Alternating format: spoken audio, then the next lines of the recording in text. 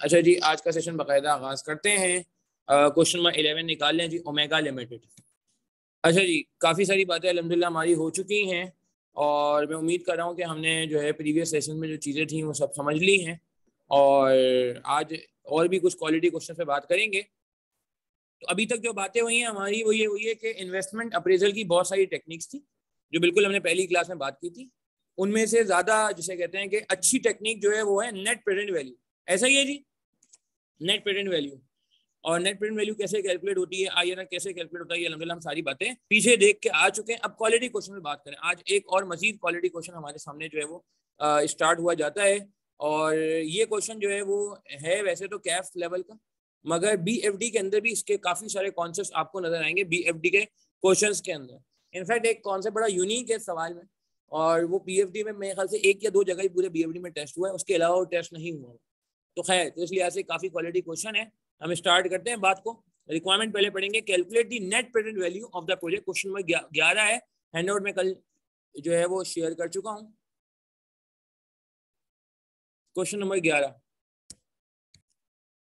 ठीक है जी, सवाल शुरू करते हैं? ओके जी थैंक यू एमन अच्छा ये ऑटम फोर्टीन का मतलब है कि ज़्यादा जिसे कहते हैं कि पुराना सवाल तो मैं नहीं कहूँगा, मगर ये ज़रूर कहूँगा कि है ये कैफ का सवाल, ठीक है?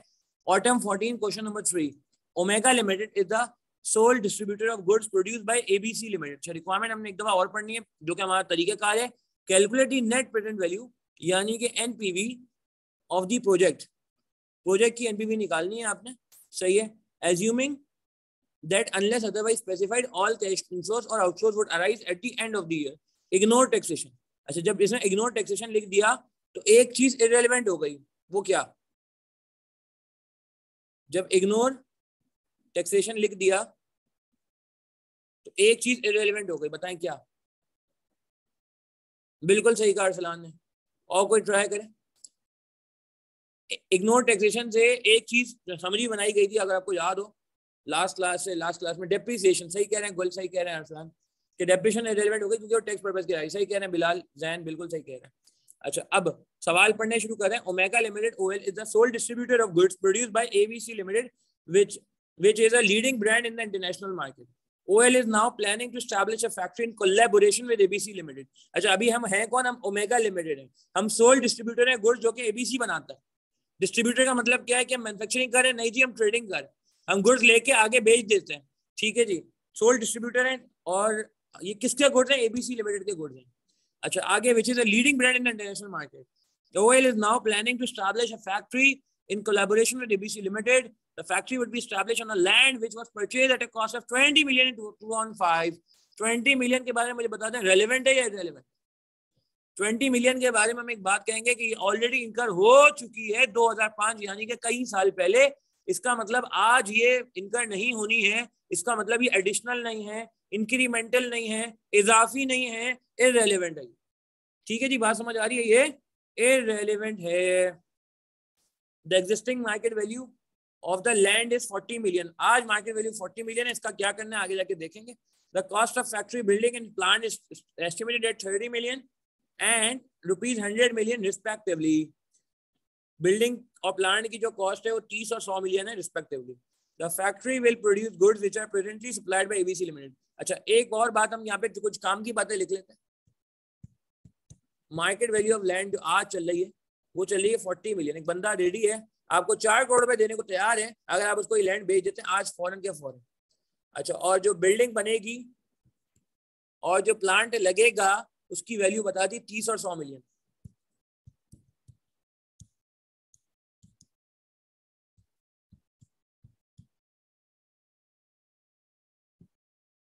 ठीक है जी, वो प्लांट कितने का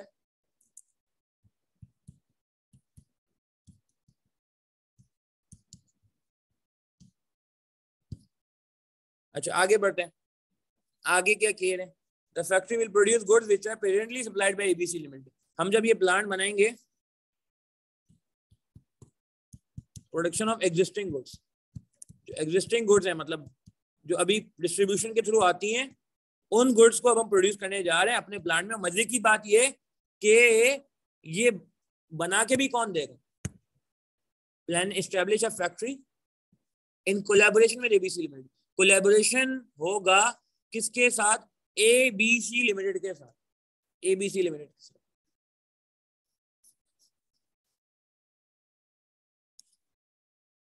कोलेबोरेशन में एबीसी ठीक है जी अच्छा आगे बढ़ते हैं।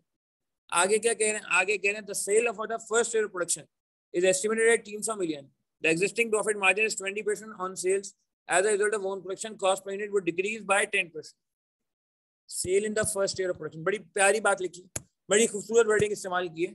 Sale in the first year of production जो भी पहला साल होगा प्रोडक्शन का, उस दवा की सेल कितनी होगी? अच्छा डेटा बनाने से बहुत आसानी हो जाती है। पेपर में भी कोशिश करनी है सवाल में इन्वॉल्व होने के लिए। थोड़ा सा टाइम लगता है, मगर एक हैबिट बना लेंगे तो फिर जल्दी जल्दी काम हो जाएगा कि डेटा बनाने की कोशिश करें। अच्छा आगे कह रहे हैं the existing profit margin is 20 percent on sales as result of own production cost per unit वो डिक्रीज बाय 10 परसेंट ज़ाहिर सी बात है, ज़ाहिर सी बात है, जब आप खुद प्रोड्यूस करेंगे तो जो प्रॉफिट मैन्युफैक्चरर को हो रहा था, वो अब आपको होगा, आपकी कॉस्ट कम हो जाएगी।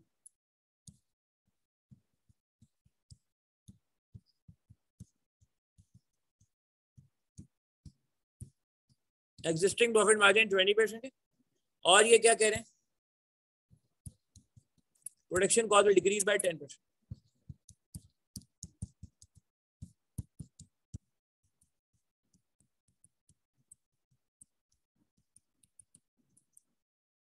ठीक है जी टेन परसेंट से ही गिर जाएगी कॉस्ट अच्छा आगे हमसे कह रहे हैं the sale price and cost cost of production per unit excluding depreciation excluding depreciation, are expected to increase by 10% and 8% respectively. तो इन्फ्लेशन आएगा इंक्रीमेंट आएगा सेल्स में और कॉस्ट में. इन्फ्लेशन वाला इफ़ेक्ट क्या है अच्छा ये एक्सक्लूडिंग डेप्रिसिएशन का क्या मतलब है? कि डेप्रिसिएशन पे इन्फ्लेशन नहीं लगता है, क्योंकि डेप्रिसिएशन जो है वो नॉन कैश होता है, ऐसा ही है? डेप्रिसिएशन जो है वो नॉन कैश होता है, इसलिए हम डेप्रिसिएशन पे इन्फ्लेशन नहीं लगाते। The sale price and cost of production per unit excluding depreciation are expected to increase by 10% and 8% respectively. यहाँ तक हमने अभी दो पैराग्राफ पढ़ लिए हैं further information ABC limited would setting off off the factory वापस से कह रहा है हालाँकि ऊपर बता चुका है हालाँकि ऊपर बता चुके हैं ये हमें कि जो फैक्ट्री लग रही है एबीसी लिमिटेड के तावन से लग रही मगर नीचे क्या आ रहा है Limited would assist in setting up of the factory for which it would be paid an amount of 10 million.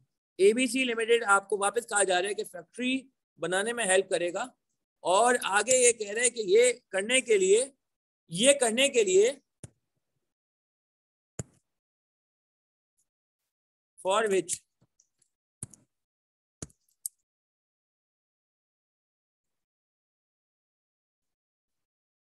for which it would be paid an amount of ten million at the time of signing of of the agreement दस million को पे कर दिया sign of agreement पे। Signing of the agreement कौन सा time होगा agreement sign किस टाइम किया जाता है? बताएँ शाबाश ऑब्वियसली एग्रीमेंट साइन किस टाइम पे किया जाता है? बिल्कुल। एयर ज़ीरो पे किया जाता है। बिल्कुल सही कह रहे हैं। बिल्कुल सही कह रहे हैं। एयर ज़ीरो पे किया जाता है। तो एयर ज़ीरो के वक्त जो है ये हमने सारा काम कर लिया होगा। ठीक है जी? अच्छा आगे बढ़ते हैं। आगे कह रहे हैं addition ABC limited would be paid a royalty of equal to three percent of sales एक तो आपने साइनिंग अमाउंट दे दिया। ठीक है, किसको दिया? एबीसी लिमिटेड को दिया।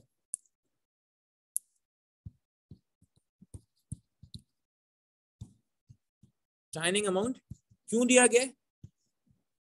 For which setting of in factory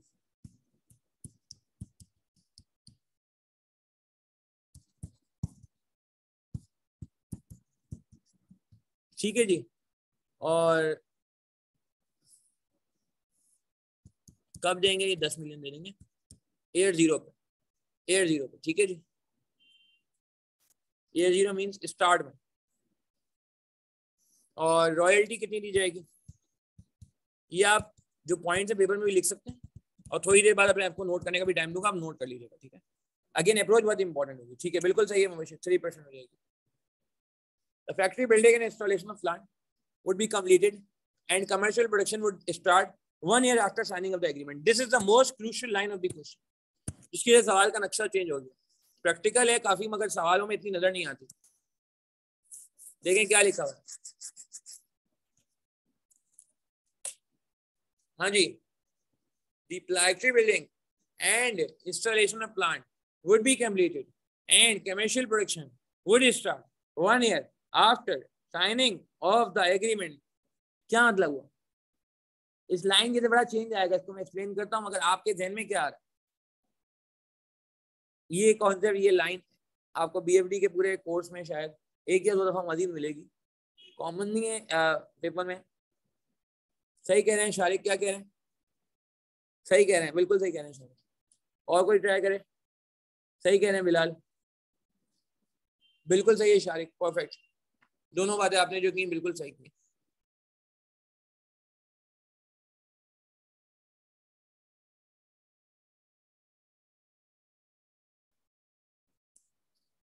बिल्कुल सही है। अच्छा बता देते हैं टाइमलाइन बना के बात करेंगे। देखिए, आम हालात में क्या होता है? पहले हम आम हालात की बात करें। नहीं नहीं नहीं, अभी बात करते नहीं, ताहिर, थोड़ा फ़र्क है। सही कह रहे हैं मुबशिर। आम हालात में क्या होता है? नॉर्मल क्या होता था नॉर्मली मौजूद नॉर्मली ऐसा होता है, बिल्कुल सही कह रहे हैं नॉर्मली ऐसा होता था एयर ज़ीरो पे एसिड आ जाता था। एयर ज़ीरो मशीन आ जाती थी। और जब एयर ज़ीरो मशीन आ जाती थी एसिड आ जाता था। तो फिर हम क्या करते थे? जब एयर ज़ीरो पे एसिड आ गया तो फिर हम सेल रिकॉर्ड कर लिया करते थे एयर वन पर एयर वन पर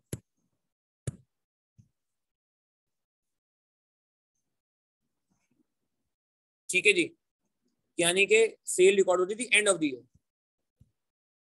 okay मैं कहते ना all cash flow assume to have been accrued at the end of the period मगर मशीन आ चुकी है। एसिड आ चुका है एसिड रेडी है मशीन आ गई। अब उस मशीन से सेल हो रही है, हो रही है, हो रही है, जनवरी से शुरू हो गई। मगर हम रिकॉर्ड कब करते थे? साल के आखिर में। ये लिमिटेशन है ना हमारे टॉपिक की। हम एज्यूम करते हैं सारा कैश फ्लो इनकर कब हुआ है? साल के आखिर में। ठीक है? अब दूसरी तरफ़, इस सवाल में क्या है? इस सवाल में ये नहीं इन दिस क्वेश्चन अगर हम एयर ज़ीरो पे खड़े हुए हैं तो एयर ज़ीरो पे कुछ नहीं हुआ। एयर ज़ीरो पे साइनिंग हुई। ये क्या कह रहे हैं? वापस पढ़ते हैं लाइन में। The factory building and installation of the plant would be completed and commercial production would start one year after signing of the agreement अब ये हमारा कमर्शियल प्रोडक्शन कब स्टार्ट हुई है? बिल्डिंग प्लांट रेडी कब हुआ है? एसेट अवेलेबल कब हुआ है?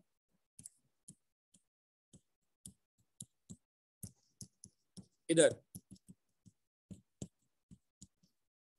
तो अब आप मुझे बताएँ सेल क्या एयर वन पे रिकॉर्ड हो सकती है? क्या हम सेल एयर वन पे रिकॉर्ड कर सकते फैक्ट्री बनी कब है? कमर्शियल प्रोडक्शन शुरू कब हुई है? एसिड रेडी कब हुआ है? एयर ज़ीरो पे नहीं हुआ। हाँ अगर एयर ज़ीरो पे एसिड रेडी हो जाता, चुटकी बजाते ही फैक्ट्री खड़ी हो जाती, चुटकी बजाते ही प्लांट रेडी हो जाता तो बात अलग थी जो कि नहीं हो सकता। अब हमें इसी वजह से by virtue of this delay because of this delay our sale will start from here year one से स्टार्ट होगी। और सेल स्टार्ट होगी एयर होते होते होते होते जो हम रिकॉर्ड करेंगे पहली से, वो कब करेंगे?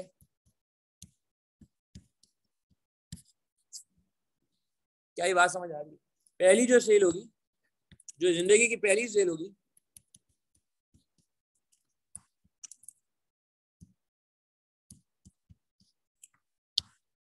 ठीक है जी, बात समझ is this fine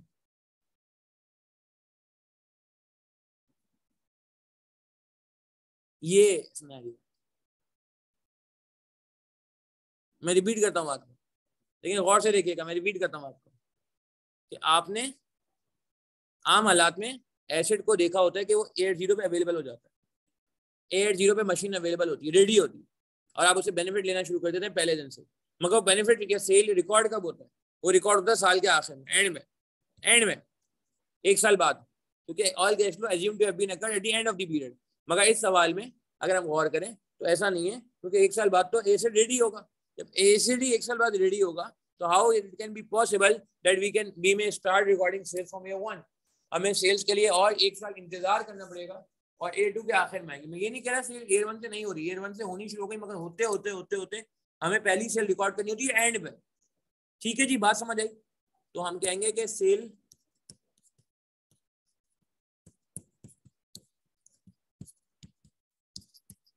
will start from year two. Done जी, sale will start from year two.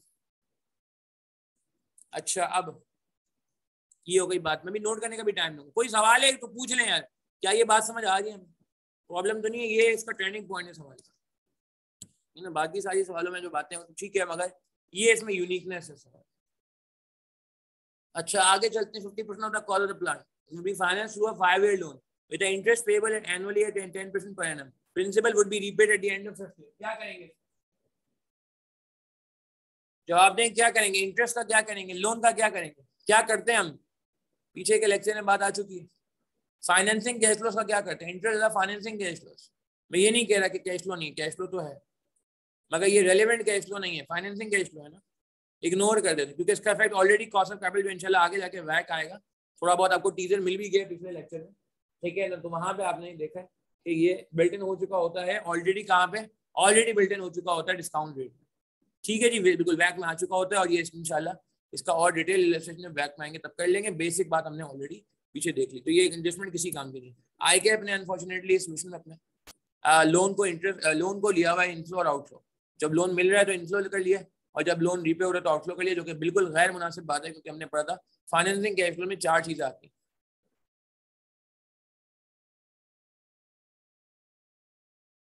जी, बिल्कुल। और टायर अंसारी ये एक हमारा नॉर्मल एजम्पन भी है ना। All cash flow would arise at the end of the year क्या ख्याल है? एनपीवी नेट प्रेजेंट वैल्यू में हमेशा, हम बीच में, दरमियान में कोई बात नहीं कर सकते। क्वार्टरली हाफ़ ईयरली आएगा, मगर वो बहुत आगे जाके आएगा। तो जब हम मिसाल के तौर पे एंड में रिकॉर्ड करेंगे तो एयर वन के एंड में तो नहीं कर सकते ना। एयर वन के एंड में तो अभी फैक्ट्री बननी शुरू हुई है। तो अभी एडवांस में सेल तो नहीं रिकॉर्ड करेंगे। एडवांस समझ रहे पहले से तो सेल के पैसे नहीं रिकॉर्ड करेंगे ना। तो हमें साल के आखिर का वेट करना पड़ता तो इनकम स्टेटमेंट को मैं कहूँगा थोड़ा दूर रखें अभी क्योंकि financial accounting is separate thing and financial management is separate thing मैं वैसे कह सकता हूँ कि हाँ यार, ठीक है, जो आप कह रहे हो, उससे भी बात वही बनेगी। मगर पर्सनली मेरी राय है कॉन्सेप्ट स्ट्रॉन्ग करने के लिए, आगे के लिए कि आप इनकम स्टेटमेंट को, यानी कि फाइनेंशियल अकाउंटिंग को बी एफ़ डी से आप दूर हो क्योंकि कुछ जगहों में ट्रीटमेंट सेम नहीं होता, कुछ जगहों में ट्रीटमेंट अलग अलग होता है ना हमारा, इस वजह से। ठीक है? अच्छा जी, आगे बढ़ते हैं। आगे क्या कह रहे हैं आगे हमसे कह रहे हैं भाई? अच्छा बड़ी प्यारी लाइन आ रही है। The working capital injection of ठीक है? हाँ तो देखें, जवाब जो भी इंटरेस्ट है, जो भी रिपेमेंट है, जो भी लोन है, वो सारा का सारा सारा का सारा सारा का सारा कॉस्ट ऑफ़ कैपिटल में बिल्डन हुआ हुआ होता है। ये बात जैसे मैंने आपको कहा, मजीद अच्छी आपको वैक में समझ आएगी और थोड़ा बहुत टीजर आपको पिछले लेक्चर में मिल चुका है लेक्चर नंबर थ्री में आ गया ठीक है ना? चाहे रिपेमेंट कितनी भी हुई हो ज़्यादा हुई कम हुई हमने देखना भी नहीं, बिल्कुल भी नहीं देखना, क्योंकि ये सारी फॉर्मेलिटी ये सारी बातें, जब हम वैक पढ़ेंगे तो आपको नज़र आएगा, सब रेशियो वेशियो सब जो है कंसिडर हो जाता है। सेट है, चलो जी।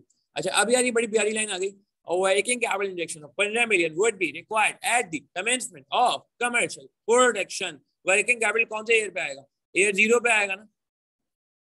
ईयर ज़ीरो पे आएगा ज़ीरो पे। या नहीं? हाँ वर्किंग कैपिटल क्या ईयर ज़ीरो पे आएगा? वर्किंग कैपिटल आउटफ्लो होता है। वर्किंग कैपिटल एयर ज़ीरो पे नहीं आएगा।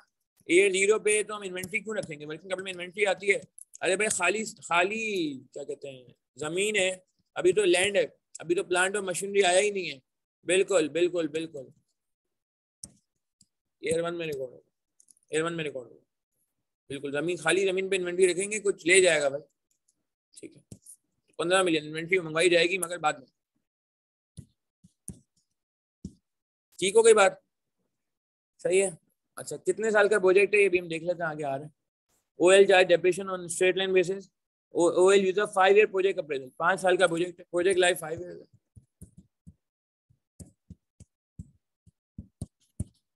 इस लाइन का क्या मतलब है? तो आपके कैश फ्लो कब से कब तक के बनेंगे? हमारे कैश फ्लो कब तक के बनेंगे? जवाब दीजिए। नहीं नहीं नहीं नहीं प्रोजेक्ट की लाइफ पाँच साल है, यानी कि इसका क्या मतलब है? प्रोजेक्ट की ज़िंदगी पाँच साल की प्रोजेक्ट पाँच साल पे लेके जा रहे हैं। प्रोजेक्ट मगर पैदा कब हुआ? प्रोजेक्ट की बर्थ कब हुई है? प्रोजेक्ट रेडी कब हुआ तो इसका मतलब ये हुआ कि ये बेचारा तो रेडी कब हुआ यार तो उसके पाँच साल तो यहाँ से शुरू होंगे ना? नहीं फैसल नहीं। यही चीज़ समझाना चाह रहा हूँ। एयर वन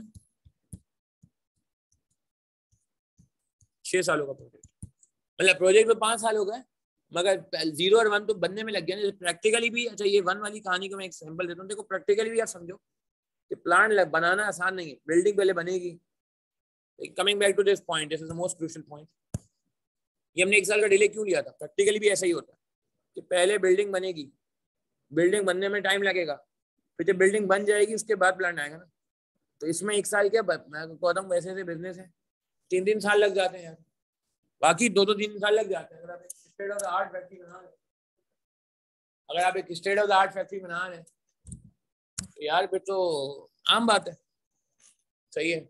मुझे यार एक फार्मास्यूटिकल है। सही है, उसका एक वेयर हाउस बना था। सिर्फ़ वेयर हाउस वो पता नहीं कितने साल लग गए थे वेयर हाउस बनने में। वेयर हाउस आपको पता है क्या होता है? इन्वेंट्री रखनी थी। तो आप सोचे प्रोडक्शन फैक्ट्री फैसिलिटी लगाने में कितना टाइम लगता होगा। समझ रहे तो आई थिंक इट्स फाइन तो मैं वापस यहाँ पे आऊँगा कि जब प्रोजेक्ट रेडी ईयर वन पे हुआ है तो आप वहाँ से पाँच साल करेंगे, ठीक है? फैसल क्लियर है? छह साल तक जाएगा। बिलाल क्लियर है? मुबशिर सही कह रहे हैं, शारिक इमरान सही कह रहे हैं। ठीक हो गया जो जवाब बिल्कुल सही कह रहे थे। ताहिर अंसारी सही कह रहे थे। ठीक है? अच्छा आगे बढ़ते हैं। आगे हमसे क्या कह रहे हैं भाई? आगे हमसे कह रहे हैं कि भाई डिप्रेशन स्ट्रेट लाइन है और चार साल का प्रोजेक्ट है। रेसिडुअल वैल्यू जो है वो दस पचास परसेंट है और दस परसेंट है। पचास परसेंट है बिल्डिंग के केस में और प्लांट के केस में दस परसेंट हो जाती है। ठीक है तो ये भी यार नोट कर लेते हैं जब इतना डेटा बना लिया।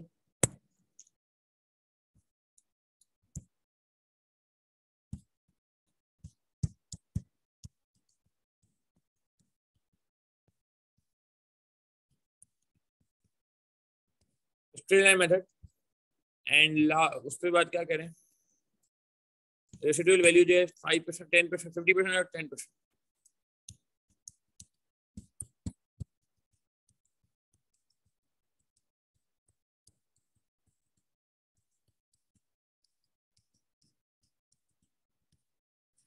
अच्छा डेपिशन के बारे में हमने बात की थी कि वो कैश फ्लो नहीं होता है और टैक्स भी नहीं है तो फ़िलहाल नहीं आनी चाहिए। मगर देखते हैं सर क्या सीन है। मार्केट वैल्यू ऑफ़ लैंड वापस बंदा आ गया ब्रोकर आ गया, जो पहले आया था।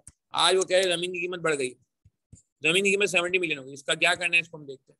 और वैक कितना है कॉस्ट ऑफ़ कैपिटल यानी कि डिस्काउंट फैक्टर हमारा जो है, वो बारह percent required calculate NPV of the project assuming that unless, otherwise specified, all cash inflows or outflows would arise at the end of the year at no taxation. अच्छा अब मेरा आपसे सवाल है, कितने साल के कॉलम बनेंगे? इसको आप नोट करें, चलें। काइंडली इसको आप नोट करें, जो मैंने आपके सामने डेटा बनाया। और फिर हम सवाल शुरू करते हैं।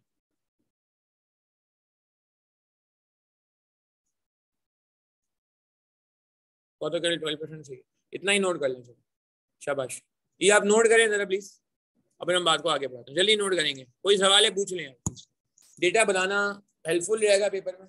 टाइम का इशू आता है, बिल्कुल आता है। मगर जैसे मैंने कहा कि आप अभी से प्रैक्टिस करेंगे डेटा बनाने की तो फिर आपको ज़्यादा टाइम नहीं लगेगा पेपर पेपर में ये होगा, पता होगा किस चीज़ को डेटा का पार्ट बनाना है और किसी को डेटा का पार्ट नहीं बनाना। जल्दी से, शाबाश। मुझे कोई सवाल तो पूछें। इसको नोट करें, फिर हम ऑफिशियल इसको सॉल्व करें में एक दो अभी क्वालिटी एडजस्टमेंट बाकी एक दो इसमें आए ओपनर थे अभी भी। जो हम देखेंगे कैसे डिस्कस करना है। बहुत ही सरप्राइज़ एलिमेंट मौजूद है सवाल बहुत ही सरप्राइज़ एलिमेंट जो आसानी से स्टूडेंट को नहीं आइडेंटिफाई हो पाता। बहुत मेहनत करनी पड़ती है। चलें तो मेरे ख्याल से आई थिंक नोट करना शुरू करते हैं आप लोग, और फिर हम बात को आगे बढ़ाएँगे, शाबाश। अच्छा जी स्ट्रक्चर बनाने जा रहे हैं, जल्दी से बता दें। स्ट्रक्चर में कितने साल पे बात हुई थी हमारी? आई थिंक छह साल पे बात हुई है हमारी। सिक्स ईयर्स पे जाएँगे air zero.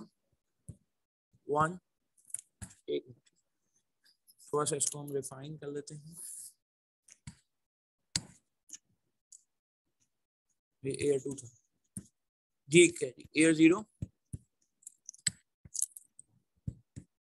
One, two, three, four, five, and six. ठीक है, सबसे पहले आइटम जी, आसानी के लिए। वही सेल्स रिकॉर्ड कर लें। अच्छा मुझे एक बात बताएँ कि सेल्स कब से इन्फ्लेट होगा? हमारा फेवरेट क्वेश्चन बल्कि ऑलरेडी इसने दिया हुआ है ना सेल तो।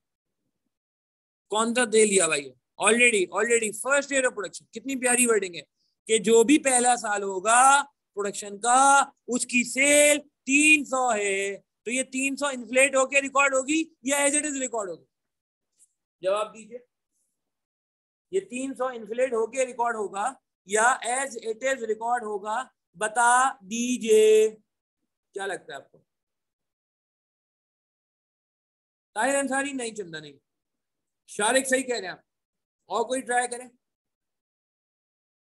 ये 300 मिलियन के बारे में इसने क्या लिखा हुआ है? गौर से देखें ताहिर अंसारी, कि यार इसमें लिखा हुआ है फ़र्स्ट ईयर प्रोडक्शन बिलाल नहीं, गौर से देखें चंदा फ़र्स्ट ईयर ऑफ़ प्रोडक्शन का क्या मतलब है? कि ये जो फिगर है, ये ऑलरेडी पहले साल के इक्वलेंट है। पहले साल की फिगर है। पहले साल के लेवल की फिगर है। पहले साल के लेवल पे फिगर है। करंट प्राइस टर्म नहीं लिखा हुआ। एग्जिस्टिंग प्राइस टर्म नहीं लिखा हुआ। आप मेरी बात समझ रहे तो पहली फिगर तो ऐसा लग रहा है कि एज इट इज़ रिकॉर्ड होगी और वो भी एयर टू पे। ठीक है ना? एयर टू पे क्यों कह रहे हैं? क्योंकि हमें पता है कि ठीक है? ये बिलाल, आपको समझ आ गया तायर रिकॉर्डेड माशाल्लाह दैट्स गुड क्योंकि इन्होंने खुद कह दिया ना कि ये पहले साल का रेडीमेड फिगर अवेलेबल है।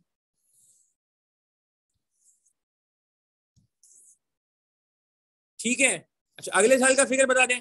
दस परसेंट इन्फ्लेशन लगाएँ जल्दी जल्दी। और मुझे बताएँ क्या आएगा? टेन टेन परसेंट का इन्फ्लेशन लगा के क्या बनेगी फिगर आपके पास? तीन three thirty three sixty three three ninety nine I guess three ninety nine four thirty nine बिल्कुल बिल्कुल सही कहा शारिक का कि अगर वो खुद कहता कि नहीं जी, ये एयर ज़ीरो लेवल पे है तो फिर हम पे लाजिम हो जाता, हम इन्फ्लेट करके रिकॉर्ड करते हैं। ठीक है चेक कर लें फिगर यही आ रही लास्ट वाली फिगर भी यही आ रही। अच्छा अब इसमें से लेस कर दें क्या? कॉस्ट ऑफ़ सेल्स इसको छोड़ दें। कॉस्ट सेल से मुझे बात करनी है आपसे। और क्या चीज़ आ रही है? देखें सेल रिकॉर्ड कर ली। अब ये डेटा में हेल्प करेगा। सवाल देखने की ज़रूरत नहीं है। कॉस्ट ऑफ़ सेल में मैं बात करता हूँ। प्रोडक्शन कॉस्ट में एक मसला है, बात करता ये बहुत अच्छी फिगर है। अच्छा इन्फ्लेशन में हो गया, हमने इन्फ्लेशन भी लगा दिया। साइनिंग अमाउंट में बात करते हैं। रॉयल्टी एग्री करेंगे रॉयल्टी भी है। कितने परसेंट आसान।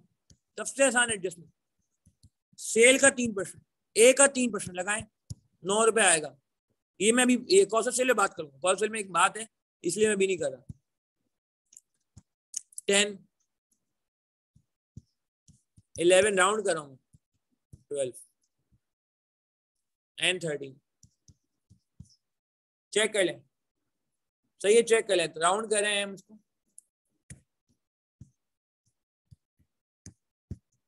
नियरेस्ट थाउज़ेंड या नियरेस्ट मिलियन पे सॉरी ठीक है? क्लियर है? रॉयल्टी भी आसान तरीन पॉइंट था। तीन परसेंट ऑफ़ सेल्स कह रहे हैं। हमने रिकॉर्ड कर डाला। कर डाला रिकॉर्ड और क्या है जी? रॉयल्टी हो गई।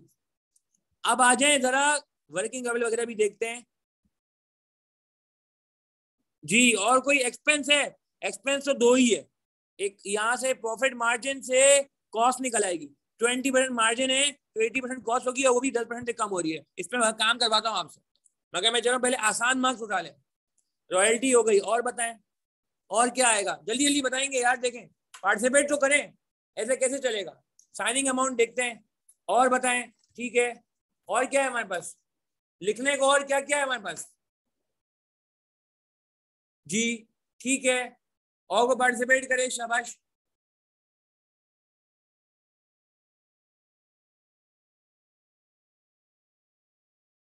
ठीक हो गया।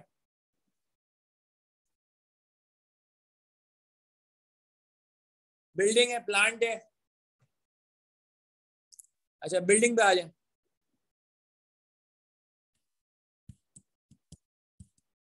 बिल्डिंग पे आ जाए। वर्किंग कैपिटल है डेपिशन तो अब्दुल्ला इरेलीवेंट नहीं हो गई। क्योंकि टैक्सेशन नहीं है ना, चंदा। अब्दुल्ला क्या ख्याल है? डेपिशन तो इरेलीवेंट होगी ना इग्नोर टैक्सेशन लिख दिया। अच्छा अभी यार यहाँ एक बड़ा इंपॉर्टेंट पॉइंट डिस्कस करने जा रहा हूँ आपसे। तो गौर से देखना है ये साइनिंग अमाउंट क्यों दिया गया? इस पर अक्सर बच्चे कंफ्यूज रहते हैं। और मैं समझता हूँ एग्जामिनर ने बहुत खुल के नहीं एक्सप्लेन किया बहुत खुल के एक्सप्लेन नहीं किया। आ, मगर ये कि इसीलिए मैं समझता हूँ कि अगर मैं एग्जामिनर होता तो शायद मैं दोनों चीज़ें सही कर देता। मैं दोनों ट्रीटमेंट सही करता पहले एक ट्रीटमेंट वो करेंगे जो होना चाहिए था जो होना चाहिए और एक ट्रीटमेंट वो करेंगे जो बच्चों के दिन में आ रहा होता है। मुझे ये बताएँ कि ये जो साइनिंग अमाउंट दी गई है ये एट ज़ीरो पे दी गई है ना दस मिलियन मगर ये क्यों दी गई? किस चीज़ के लिए दी गई? है क्या काम करने के लिए दी गई? है अगर आप गौर करें येलो हाईलाइटेड पे, सिर्फ़ येलो हाईलाइटेड पे गौर करें, कि एबीसी लिमिटेड जो है वो हमें फैक्ट्री बना के दे रहा है एग्री करेंगे। एबीसी लिमिटेड हमें फैक्ट्री बना के दे रहे हैं एग्री करेंगे, ये बात समझ आ रही है। एबीसी लिमिटेड फैक्ट्री बना के दे रहे हैं, और वापस कह रहा है कि एबीसी लिमिटेड में फैक्ट्री बना के दे रहे ऊपर बात हो गई है, मगर नीचे यहाँ वापस बात हो रही है, और फिर उसके आगे एक बात लिखी है for which it would be paid an amount of 10 million at time of signing of the agreement in addition abc limited would be payable of royalty. अब जरा गौर करिएगा। बिल्कुल बिल्कुल शारिक ये पॉइंट थोड़ा हिडन पॉइंट है। इसलिए इस पर मैं थोड़ा एम्फोसाइज करूँगा कि यार ये जो आपको 10 मिलियन दिया गया है ना ये एट ज़ीरो पे दिया गया है और ये बिल्डिंग बनाने के लिए दिया गया तो, टोकन मनी का नाम सुना आपने? प्रैक्टिकल एक चीज़ होती टोकन मनी कि ये ना हो कि भाई सामने वाली पार्टी जो है आप काम कर लो सारा और वो आपको पैसे ना दे। तो इन्होंने अगर टोकन लिया है और 10 मिलियन एट ज़ीरो पे आने के बाद अब जो बिल्डिंग थी क्योंकि वो 30 मिलियन की थी, गौर से देखिएगा। क्योंकि बिल्डिंग जो थी, वो 30 मिलियन की थी, गौर से देखिएगा। तो अब जो रिमेनिंग अमाउंट है रिमेनिंग अमाउंट है तीस में दस यहाँ पे हो गया, और रिमेनिंग अमाउंट पे कब होगा? एक साल बाद जब बिल्डिंग तैयार हो जाएगी। नहीं सर, हमें ऐसा लग रहा है, हमें ऐसा लग रहा है कि बिल्डिंग जो है वो तीस है। ये एक और ट्रीटमेंट भी है जो कुछ स्टूडेंट के जहन में आता है कि बिल्डिंग जो है नहीं, वो तीस अलग है, और साइनिंग अमाउंट दस अलग है। है ना? कुछ लोग शायद ये सोच रहे थे, सवाल पढ़ते हुए कि signing amount is a separate adjustment is a separate outflow and this building is a separate outflow but but the point is जहाँ वो सारे ऑटोमेटिकली कैटर हो जाएगा। But my point is my point is कि this signing amount is only is provided for the purpose of setting of the factory where it is written, it is written over here. ABC limited would assist in the setting of the factory for which अब आप देखें ये word कितना बारीक है for विच क्या मतलब हुआ फॉर विच का? कि ये जो जो 10 मिलियन दिया जा रहा है, ये इसी काम के लिए दिया जा रहा है। तो जैसे मैंने पहले भी कहा था कि बारीकियाँ बड़ी होती हैं हमारे कोर्स में तो कुछ बारीकियों को हम इस तरीके से कैटर करे होंगे रीडिंग के थ्रू तो ये अगेन एक ही एडजस्टमेंट है जिसमें वो फैक्ट्री की बातें कर रहा है, एक ही एडजस्टमेंट इसमें वो एबीसी लिमिटेड की बातें कर रहा है। एक ही एडजस्टमेंट है, जहाँ पे वो दस मिलियन की बातें कर रहा है। इसीलिए इंप्रेशन ऐसा मिल रहा है कि दस मिलियन कोई अलग चीज़ नहीं है। ये दस मिलियन वही है जो फैक्ट्री बनाने के लिए फैक्ट्री की बिल्डिंग के लिए एबीसी ने ऊपर ऑलरेडी बता दिया था कोलेबोरेशन हो रही है। उसी टर्म्स का, उसी अरेंजमेंट का दस मिलियन है। It's not a separate arrangement but I agree many students thought that can no, it should be like a separate payment, but no, i think it should be treated as a down payment. गुल ने बिल्कुल अच्छा word use किया कि down payment हुई है। तो ये ट्रीटमेंट ज़्यादा मुनासिब नहीं है। हम ये दोनों ट्रीटमेंट यहाँ पे ही करेंगे, यानी के यानी के।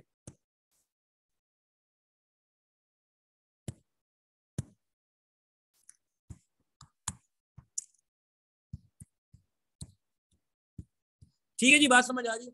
ये देखें तीस बन गया। ये देखिए तीस बन गया। थर्टी बन गया। अच्छा अब प्लांट कब आएगा? एयर ज़ीरो पे आएगा वन पे आएगा। जो प्लांट के सौ मिलियन है, ये कौन से एयर पे लगेंगे? प्लांट सौ मिलियन का है एयर ज़ीरो पे लगा दें प्लांट या एयर वन में आएगा प्लांट का, क्योंकि मैंने आपको पहले बताया टाइम वैल्यू मनी के अंदर इन्वेस्टमेंट रिज़ल्ट के अंदर सिर्फ़ और सिर्फ़ टाइमिंग का ही गेम है। बाकी कोई मसला नहीं होता इस सवाल में। बिल्कुल for which it assistant yes Abdullah, वहीं से मैंने पकड़ा। अंग्रेज़ी का इस्तेमाल किया, उम्र इस्तेमाल हुआ अंग्रेज़ी का। जी, जल्दी जल्दी बताएँ यार प्लीज़ देखिए पार्टिसिपेशन बहुत कम कर रहे हैं आप लोग मज़ा नहीं आ रहा। पार्टिसिपेशन अच्छा रखें ताकि आपका भी इंटरेस्ट बरकरार रहे और मेरा भी इंटरेस्ट बरकरार रहे यार। प्लांट कब रिकॉर्ड करेंगे एयर ज़ीरो पे तो खाली ज़मीन है, खाली ज़मीन में प्लांट नहीं लगेगा, पहले बिल्डिंग बन जाए एयर वन में, फिर प्लांट भी आ जाएगा। ठीक कह रहे हैं जवाब, बिलाल, बिल्कुल सही कह रहे ठीक है जी। अच्छा और कुछ रह गया, बस खत्म। डन कर दें बिल्डिंग भी आ गई प्लांट भी आ गया। इनकी रेसिडुअल वैल्यू भी तो है। अरे बाबा, इनकी रेसिडुअल वैल्यू भी तो है। पचास परसेंट है प्लांट की, नहीं बिल्डिंग की। बिल्डिंग की और दस परसेंट है प्लांट की। तो पचास परसेंट बिल्डिंग की है, यानी कि पंद्रह रुपए एंड में। ऐसा ये कब एयर फाइव पे एयर एयर सिक्स पे? नहीं, जब प्रोजेक्ट एंड हो रहे हैं एयर सिक्स पे। यानी कि उसके अपने पाँचवें साल पे। यहाँ से पाँचवें साल के एंड ठीक ना प्रोजेक्ट के एंड और कितना था? यहाँ पे ये हो गया दस। टेन परसेंट है, एक पचास परसेंट है, और सौ टेन वर्किंग कैपिटल आएगा जी, बिल्कुल आएगा। वर्किंग कैपिटल का क्या करेंगे? जवाब दीजिए मिलियन का वर्किंग कैपिटल बात हो चुकी है। वर्किंग कैपिटल का क्या सलूक किया जाए, क्या ट्रीटमेंट किया जाए?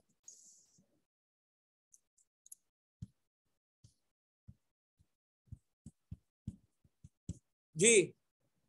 वर्किंग कैपिटल पंद्रह मिलियन है क्या किया जाए? ये पंद्रह ईयर वन पे आएगा। बस और फिर रिकवर होगा। रिकवर हो जाएगा। अगले सवाल में इंशाल्लाह इन्फ्लेशन भी आ जाएगा। क्या क्या इन्फ्लेशन होगा वर्किंग कैपिटल में तो क्या करेंगे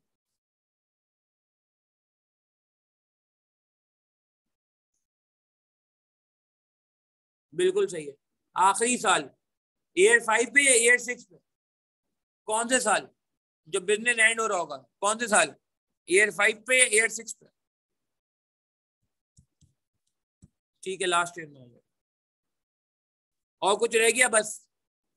हाँ जी, और कुछ रह गया है या सब एंड हो गया है? कॉस्ट ऑफ़ गुड्स में रह गया, वो मैं करता हूँ। बिल्डिंग प्लांट हो गया। लैंड के बारे में बात करते हैं। लैंड इज़ वेरी इंपॉर्टेंट अच्छा पहले लैंड के बारे में बात कर लेते हैं। और फिर हम उसके बारे में बात करें। लैंड के बारे में मुझे बता दें लैंड आएगा, नहीं आएगा आएगा तो कितना आएगा? लैंड के तो आ जाएँगे। डिस्काउंट फैक्टर लगा देंगे बारह परसेंट। बारह परसेंट का डिस्काउंट फैक्टर लगा देंगे।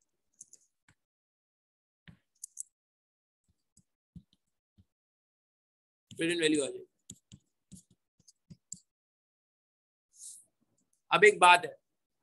सुनिएगा शारिक बात करते हैं, बड़ा मज़ेदार डिस्कशन दो चीज़ें रह गई, बड़ी इंपॉर्टेंट एक कॉस्ट ऑफ़ गुड्स रह गए और एक लैंड रह गई यार, एक बात बताएँ। प्रैक्टिकली भी और बचपन में जब कॉस्टिंग पढ़ते थे, जो चीज़ फालतू होती है, जो चीज़ बेकार होती है, जो चीज़ यूजलेस होती है उसको आप क्या करते हैं? हाँ फेंक देते हैं। एयर ज़ीरो में नहीं आ रहा ना अब्दुल्ला लड़के एयर ज़ीरो में वर्किंग कैसे आ सकते हैं? एयर ज़ीरो में तो खाली ज़मीन है, लोग क्रिकेट खेल रहे हैं। संडे मॉर्निंग नहीं, खाली ज़मीन देख के लोग क्रिकेट खेलना शुरू हो जाते हैं। मैंने भी बहुत खेली है यार, अभी आजकल क्लासेस हैं तो नहीं खेल रहा। वरना अलहमदिल्ला काफ़ी खेली है क्रिकेट यार। खेल बल्कि कुछ टाइम पहले भी खेल ही रहा था, लगातार। तो अब्दुल्ला एयर ज़ीरो पे तो यार मैदान नहीं है खाली, देखो। तो ईयर ज़ीरो पे मैदान है, मैं वर्किंग अपने इन्वेंट्री लेके क्या करूँगा? खराब हो जाएगी यार। पहले मैं प्लांट बनने ना दूँ, क्या कहते हो? पहले प्लांट बन जाए बिल्डिंग बन जाए प्लांट इंस्टॉल हो जाए, उसके बाद वर्किंग कैपिटल चाहिए होगा। नहीं, इसीलिए देखो, पहले हमने लिख भी लिया था पहले भी ये पॉइंट डिस्कस करके हमने ईयर वन लिख दिया था, कहाँ पे सही है, अब्दुल्ला क्लियर है? मैंने कहा पुराना पॉइंट आपने पूछा था, मैंने कहा डिस्कस कर लूँ। ठीक है एयर वन ओके जी। अच्छा हाँ यार फालतू चीज़ का क्या करते हैं? शारिक सही कह रहे हैं। जी अगर कोई चीज़ फालतू होती है तो क्या करते फेंक देते नहीं, फेंकते नहीं है भाई। बेच देते हैं। बारह कलर बारह कलर। कोई भी मसला पूछते रहे यार। लाइव क्लास का फ़ायदा ही है। आप लाइव क्लास में आए तो पूछे छोटे लेकिन हाँ तो फालतू चीज़ को हम बेच देते हैं। पैसे निकाल लेते हैं। सही है ना? पैसे खड़े कर लेते हैं वहाँ से। तो अब सवाल है मेरा कि यार, अगर मिसाल के तौर पे, मिसाल के तौर पे, अगर लैंड फालतू है तो क्या करना चाहिए? उसूली तौर पे, उसूल क्या कहता है? पारे के बेच दे यार, खत्म करें। जैसे पीछे सवाल में बात हुई थी ना कि फालतू चीज़ को तो हम रखते नहीं है। मटीरियल बात हुई थी गालिबन तो पिछला सवाल था आई गेस बेजर पीएलसी का। उसमें भी बिल्कुल आखिरी डिफरेंट में बात हुई थी। तो मुझे बताएँ लैंड के कितने पैसे मिल जाएँगे? अगर आज हम लैंड को बेच दें और काम ना करें, कितने पैसे? ब्रोकर रेडी है? बोला कैश ले आएँगे आपके पास। हमने कहा, क्या वैल्यू लगा रहे हो? नहीं, तीस नहीं। शारिक तीस नहीं, अभी आज कितना वैल्यू का बिल आज कितने की बिक जाएगी लैंड आज आज। यानी कि जब प्रोजेक्ट शुरू हो रहा है, यानी कि जब काम शुरू होने वाला है, जब बिल्कुल लैंड है। अरे चंदा, आज पूछ रहा हूँ, ये बाद में नहीं पूछ रहा प्रोजेक्ट के एंड में नहीं पूछ रहा। आप मुझे प्रोजेक्ट के एंड का बता दो, लड़के। आज तो चालीस मिलियन ना वैल्यू दिखा देते परेशानी की को बात आज के दिन तो हमें लोग चालीस मिलियन देने को तैयार है। एग्जिस्टिंग मीन आज। सही है? मगर हमने तो उसको मना कर दिया। वो कह रहे मैं ब्रीफ केस भर के ले आऊँगा। कैश आपको हाथों हाथ पेमेंट होगी। हमने कहा, नहीं है कैश नहीं बैंक में पैसे डालो। बुरे हालात हैं, ऐसा ना करें हमारे उसने कहा, मर्ज़ी आपकी, मगर आप बैंक में करवाएँगे। बैंक में, मैं ब्रीफ के बैंक ले जाऊँगा। वो कह रहे हैं, आपको मैं चार करोड़ रुपए आज खड़े खड़े अभी के अभी देने को तैयार आप डन करें ज़मीन मुझे दे दें। ज़मीन मुझे दे दें। आप क्या ज़मीन सेल कर देंगे? सवाल है क्या आप ज़मीन आज सेल कर सकते हैं चालीस मिलियन की? जवाब दें? अगर चालीस मिलियन की ज़मीन आज बेच दी तो सवाल खत्म हो जाएगा। फिर तो सवाल ही खत्म हो जाएगा। नहीं, आज तो नहीं बेच सकते ना शारिक, क्योंकि हमने तो ठान लिए कि हम इस ज़मीन पे क्या करेंगे? हमें ज़मीन पे क्या करेंगे? हमें ज़मीन पे बिल्डिंग बनाएँगे, और फैक्ट्री बनाएँगे प्लांट लगाएँगे एबीसी वाले गुड़ बनाएँगे। यही बात हुई थी। यस यस यही पॉइंट में लगाना चाहूँ तो जब हम मुबशर प्लांट लगा देंगे तो हमारा प्लांट लगने की वजह से इस चालीस मिलियन का क्या होगा? मैं समझता हूँ आपके जेन में बात आ गई। क्योंकि हमने ज़मीन पे प्लांट लगा दिया ब्रोकर को वापस बेच दिया प्रॉपर्टी एजेंट को बोला, नहीं है सॉरी बेचने का इरादा नहीं है। हम नहीं बेच सकते। बिल्कुल बिल्कुल बिल्कुल। मगर वक्त का पहिया घुमा। बिल्कुल सही का अब्दुल्ला, बहुत प्यारी बात की। अगली बात सुनो वक्त का पहिया घुमा, वक्त का पहिया घुमा, हमने प्लांट लगाया फैक्ट्री लगाई, पाँच साल का प्रोजेक्ट था, एक साल वेस्ट हो गया था, छह साल बाद, अब प्रोजेक्ट एंड हो गया, अब प्रोजेक्ट खत्म हो चुका है एसेट बेच दिया गया प्लांट सेल कर दिया गया बिल्डिंग बेच दी गई है, यही हुआ है बिल्डिंग और प्लांट देख रहे हैं, बेच दिया गया, अब क्या होगा? अब ये ज़मीन वापस फारिग हो गई, अब ये ज़मीन वापस फारिग हो गई ब्रोकर वापस आ गया। ब्रोकर वापस आ गया, पूछा, भाई, क्या इरादा है? कोई नया प्लांट लगा रहे हो क्या? हमने कहा, नहीं, कोई ऐसी इंफॉर्मेशन तो नहीं आई है. तो उसने कहा, भाई बेच डालो आज मैं पार्टी लाया हूँ सत्तर मिलियन की। कितने की पार्टी लाया हूँ सत्तर मिलियन की? अब मुझे बताएँ, आज क्या करेंगे? क्या आपके पास आज कोई और ऑप्शन है?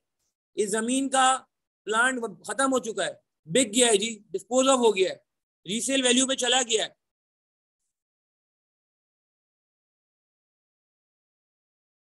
क्या कहते हैं?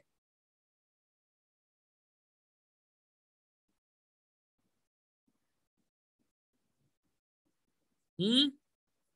अब आज क्या हो जाएगा? आज हमारे पास कोई दूसरा रास्ता नहीं है, कोई दूसरा ऑप्शन नहीं है। प्लांट जा चुका बिल्डिंग जा चुकी लेबर जा चुकी, सब खत्म हो गया। अब हम चाहें तो ज़मीन को बेच सकते हैं। वेरी गुड तो अब मुझे बताएँ लैंड का क्या ट्रीटमेंट होगा? मैंने आपको समझा दिया ओरली अब आप अप्लाई करें शहबाज क्या ये अप्लाई कर पाते हैं, देखता हूँ मैं। लैंड का क्या ट्रीटमेंट करें? ग्रीन से लिखेंगे कलर चेंज करेंगे, ताकि लगे कि यार अलग चीज़ थी। लैंड का क्या ट्रीटमेंट किया जाए? वेरी गुड मुबशिर बहुत अच्छे। बिलाल, पूरा पूरा बताएँ। पहले क्या होगा, बाद में क्या होगा? एयर ज़ीरो पे बहुत प्यारी बात की वेरी गुड और कोई ट्राई करे? एयर ज़ीरो पे हमने कुर्बानी दी। एयर ज़ीरो पे हमने फॉरगॉन किया। एयर ज़ीरो पे हमने सेक्रीफाइस किया, कितना? कितना चालीस मिलियन? चालीस मिलियन की ऑफ़र ठुकरा दी। वो कहता, रह गया, सोच लो। हमने कहा, सोच लिया भाई, नहीं नहीं बेचना नहीं बेचना। एग्री करेंगे? एग्री करेंगे। चालीस मिलियन हमने ठुकराए थे। अपॉर्चुनिटी कॉस्ट आएगी। वेरी गुड ज़बरदस्त ज़बरदस्त गुल और आखिरी साल क्या करें? आखिरी साल आप इंश्योर रिकॉर्ड कर लें कितने का। फालतू चीज़ को तो हम बेचने की बातें करते हैं सेवेंटी का। Very good Bilal. Gul very good Mubashar very good जवाब बहुत अच्छे, ज़बरदस्त है। कुछ बात समझ आई आपको? अच्छा एक दोस्त है बड़ा भोला बाला सा एक हमारा दोस्त है बड़ा भोला बाला। वो दोस्त केयर है हमसे कि एक काम करो ना, दोस्त केयर है कि आप डायरेक्ट थर्टी रिकॉर्ड कर लो। दोस्त केयर है, आपको थर्टी का फ़ायदा हुआ है ना, आप एक काम करो सेवेंटी माइनस फोर्टी करो थर्टी आते ही थर्टी रिकॉर्ड कर लो ईयर सिक्स में। क्या ये दोस्त सही कह रहा है? कह रहे हैं, यार डायरेक्ट थर्टी रिकॉर्ड करो ना, क्या ये लंबी लंबी कहानी करो नेट तो थर्टी बन रहा है। सवाल है मेरा।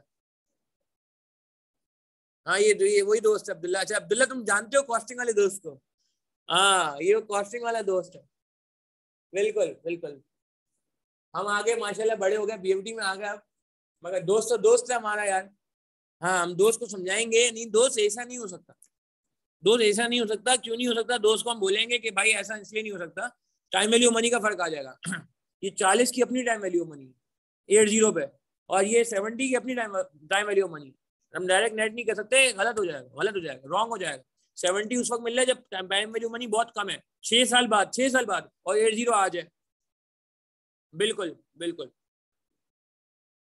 अब जा, एक एक और भी अजम्पन आती है। कुछ स्टूडेंट एक बात करते हैं। सुनिएगा, शारिक, आपके सवाल का जवाब दे रहा हूँ।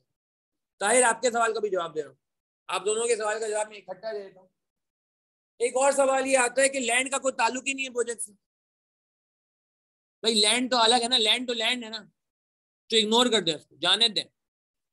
तो मेरा ये सवाल है कि क्या लैंड से क्यों ताल्लुक नहीं? इसी लैंड में तो प्लांट लग रहा है। क्या है सारे? ये जो लैंड है, ये कोई अलग तो नहीं है, ये तो वही लैंड है ना, ये कोरंगी वाला लैंड है मिसाल के तौर पे, या साइड एरिया वाला लैंड है ये जहाँ जो मैं फारिग पढ़ा था और हम उसी पे ही तो प्लांट लगा रहे हैं। तो कनेक्टेड तो है यार, ऐसा नहीं कह सकते। हाँ ये अगर क्लिफ्टन डिफेंस का लैंड होता, जिसका हमारे प्रोजेक्ट से कोई लेना देना नहीं होता दूर दूर तक तो बात समझ आती है, मगर प्रोजेक्ट बनी वहीं रहे, नहीं समझे बात को। या तो हम कोई रेंटल प्रेमिस से प्रोजेक्ट बना रहे होते रेंटल प्रेमिस समझते हैं, कोई साइड में कोई प्रेमिस लेके बना रहे होते तो तो अलग बात थी। मगर हम उसी लैंड पे तो बना रहे हैं, पहली बात पहली बात। दूसरी बात दूसरी बात ये है भाई कि ये जो हमने बात की है आपसे कि लैंड की, अब मैं आपके सवाल का जवाब दे रहा हूँ, ताहिर, कि क्या चालीस मिलियन मुझे मिल सकते थे? सवाल का जवाब दें। अगर मैं प्लांट नहीं लगाता अगर मैं प्लांट लगाने का आइडिया कर्टेल कर दूँ लेट से जी, हमारी गवर्नमेंट ने सुपर टैक्स लगा दिया। और हमारी इंडस्ट्री है लेट से सीमेंट की। ठीक है, थोड़ा कनेक्ट कर मैं, आम हालात से आज। अचानक ही अनाउंसमेंट आ गई जी, फरमान जारी हो गया सुपर टैक्स लगेगा टेन परसेंट एक्स्ट्रा गुर्बत मिटाने के लिए। तो मुझे बताएँ, अब ये बिल्डिंग और प्लांट वाला जो चैप्टर था क्या मैनेजमेंट अब सोचेगी कि यार इसको क्लोज कर दें। मैनेजमेंट कहेगी, नहीं यार बिल्डिंग और प्लांट नहीं लगाते। तो अगर बिल्डिंग और प्लांट नहीं लगेगा तो मुझे बताएँ चालीस मिलियन का क्या होगा? ताहिर आपसे सवाल है। ताहिर आपसे सवाल है। अगर हम बिल्डिंग और प्लांट नहीं लगाएँगे बिल्डिंग नहीं बनाएँगे प्लांट नहीं लगाएँगे, उस ज़मीन पर चालीस मिलियन का क्या होगा? हम पहली फुर्सत में, बगैर किसी सोचे समझे क्योंकि और कोई यूज़ नज़र नहीं आ रहा तो हम इसको बेच सकते हैं tyre exactly yes yes very nice तो यार, ये चालीस में जो मिल सकते थे प्रोजेक्ट की वजह से मुझे नहीं मिले ना। मैंने प्लांट प्रोडक्शन बनाने प्लांट प्रोडक्शन को कंटिन्यू करने का सोचा। जब भी चालीस मिलियन मुझे फॉरगॉन करने पड़ गए, चालीस मिलियन मुझे छोड़ने पड़ गए, क्योंकि मैंने तो नियत कर ली है कि इस ज़मीन को बेचेंगे नहीं, इस ज़मीन पे प्लांट लगाएँगे, इस ज़मीन पे जो है वो बिल्डिंग बनाई जाएगी फैक्ट्री की। हाँ सही बात समझ आई? मगर छह साल बाद जब वक्का भैया घुमा और प्लांट रिलीज़ हो गया है प्लांट जा चुका है बिल्डिंग भी सेल हो चुकी है। मतलब बिल्डिंग की, बिल्डिंग भी खत्म हो चुकी है। अब आप मुझे बताओ ना यार लैंड का टुकड़ा फारिग हो गया। ये कहना मुनासिब नहीं बिल्डिंग सेल हो गई। ये कहना है कि बिल्डिंग का जो जो भी था, अब पंद्रह मिलियन हमें उसको रिकवर करके मिल गया। तो अब आप मुझे कह सकते हैं कि यार ये सत्तर मिलियन हमें मिल जाएगा। चाहिए ताहिर क्लियर है, इसलिए हम कह रहे हैं। और शारिक आपको भी क्लियर है, क्योंकि ज़मीन वही है ना यार। ये कोई और ज़मीन नहीं है। ये किसी और शहर की ज़मीन नहीं है। ये किसी और इलाके की ज़मीन नहीं है। ये स्पेसिफिक ज़मीन। चलो, एक चीज़ रह गई। कौन सा सेल मैं आपको देता हूँ ट्राई करने अब आप लोग जरा ट्राई करो, डब्बे को आप भरो। इसको यहाँ तक नोट करो, डब्बे को भरो, फिर हम बात करते हैं। ये सवाल एंड होने जा रहे हैं। जल्दी से आप प्लीज़ थोड़ा टाइम तेज़ी से लेके लगाएँगे इस पर यार प्लीज़ मेरी आपसे गुजारिश है। काइंडली काइंडली प्लीज़ यार, जरा क्विकली क्विकली क्विकली क्विकली जरा आप इसको कैलकुलेट करने की कोशिश करें। लैंड हो गया हमारा कंप्लीट प्लान कॉन्सेंट निकालने की कोशिश करें और फिर देखें क्या आ रहा है। ट्राई ऑन योर जल्दी यार प्लीज़ इसको नोट कर लें। डिस्काउंट फैक्टर में बताया यार। 1.12 स्क्वायर जल्दी जल्दी करेंगे यार। यहाँ थोड़ा कहानी में ट्विस्ट है।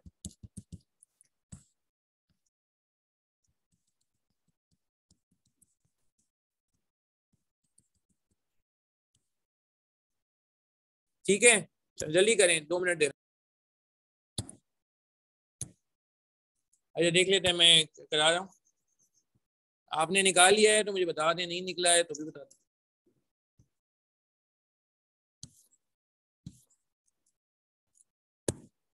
देखें यार, एक मसला है इसमें। चलें, एक मिनट और ले लें एक मिनट और ले लें। भाई, जो रिकॉर्डिंग से रेफर करें, उनसे भी गुजारिश है आपने खुद ट्राई करना है। प्लीज़ जल्दी से करें शाबाश। बाकी यार रजिस्टर प्रॉपर मेंटेन करें, देखें। रजिस्टर आपका एसेट है जो आपको इंशाल्लाह एमएससी में भी हेल्प करेगा।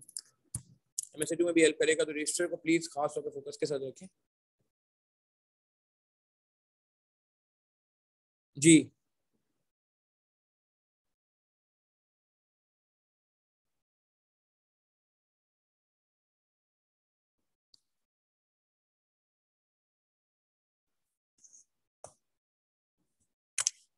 अच्छा देखिएगा प्लीज़ अभी कैसे निकाले हम? कुछ कुछ आंसर आए हैं, मगर कुछ प्रॉब्लम लग रही है मुझे।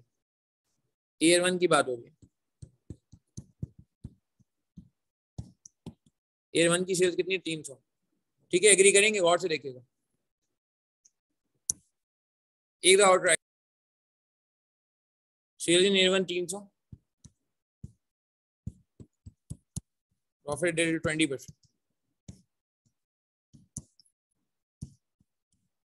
क्या मैं कह रहा हूँ ये आगे existing cost of goods agree करेंगे? Existing cost of sales existing का मतलब है आज. डिस्ट्रीब्यूशन अरेंजमेंट की वो क्या कह रहा है? वो क्या कह रहा है? कॉस्ट ऑफ़ सेल्स क्या हो गई है? कॉस्ट बढ़ गई है, कम हो गई है? बताएँ जल्दी से जवाब दें।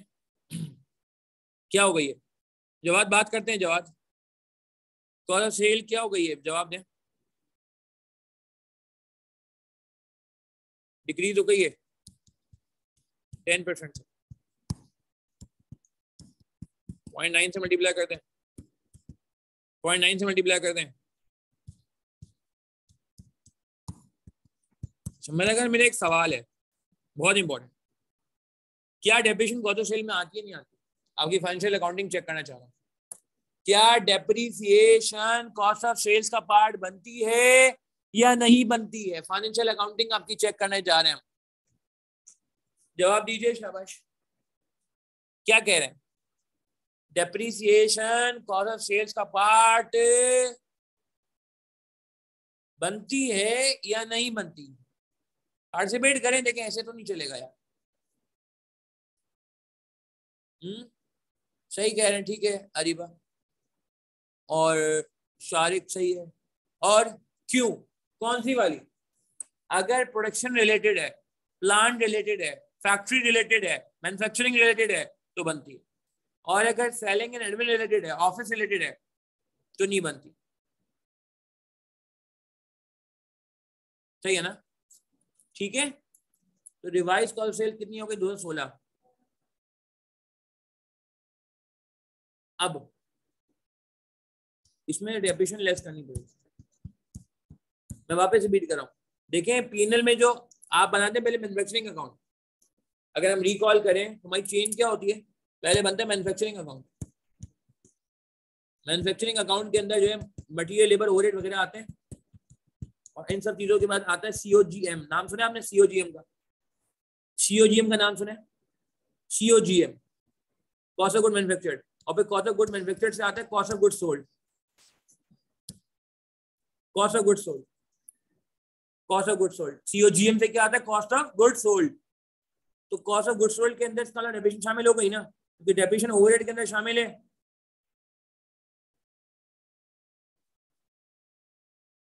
नहीं क्यों? आप खुद बताएँ सारे की ये प्लांट और बिल्डिंग का ताल्लुक प्रोडक्शन से या सेलिंग से? ए, पेपर में मैंने आप पहले भी बताया या मैं आगे भी बताऊँगा। Assumption I hate assumption paper में आप अजम्पशन उल्टी की ना लें। क्योंकि नॉर्मली जो हम अजम्पशन ले रहे होते हैं ना, वो गलत ले रहे होते हैं। जैसे अभी आपने अजम्पशन ली। क्योंकि देखें अजम्पशन से हम जान छुड़ाने की कोशिश कर रहे होते हैं। और पेपर में बहुत सारी चीज़ें क्लियर होती तो यहाँ पे अगर आप अजम्पशन ले लोगे कि प्रोडक्शन रिलेटेड नहीं है क्राइम हो जाएगा। क्योंकि साफ़ साफ़ नज़र आ रहा है factory building factory plant office की बात ही नहीं हो रही। तो बिल्कुल गलत हो जाएगा। कि अगर हम इसको कहेंगे नहीं, कि सिंपल है ये, नहीं सिंपल नहीं है ये। बहुत इंपॉर्टेंट है। तो हमें डेपेशन लेस करनी पड़ेगी डेपेशन ऑफ़ प्लांट भी लेस करनी पड़ेगी। डेपेशन बिल्डिंग भी लेस करनी पड़ेगी। तो बिल्डिंग डेपेशन भी अब आप कहें ये ट्रिगर कैसे होगा? वो भाई ट्रिगर ऐसे होगा कि पीनल आइटम था सेल प्रॉफिट माइनस करा cost of goods sold P&L item है। निकालें जरा, कैसे निकलते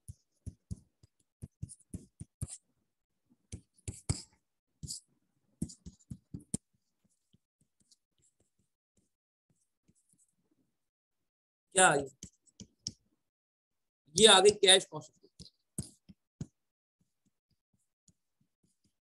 ये आ गई पहले साल की। देखें चेक करें। चेक करें।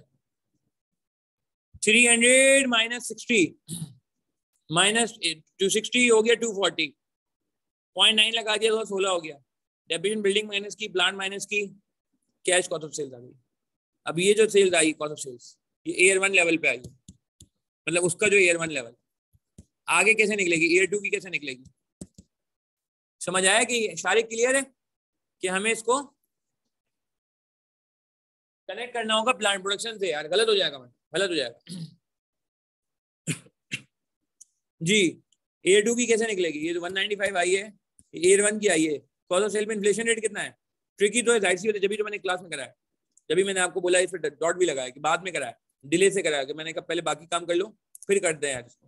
अच्छा मैं क्या कहता यार इस पर कितना है हमारा? आई थिंक एट परसेंट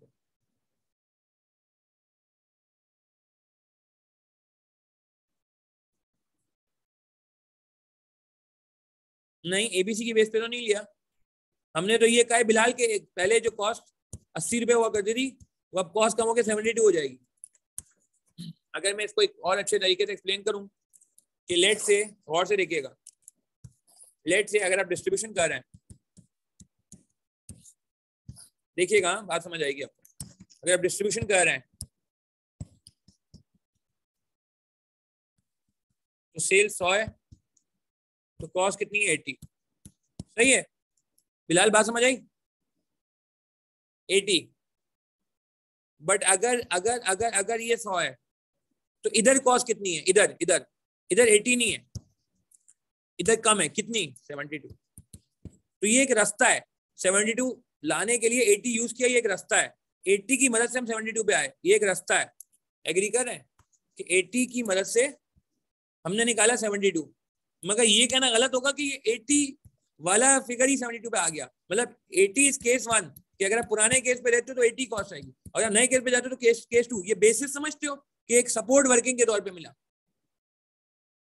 और इस सेवेंटी टू के अंदर भी क्या है?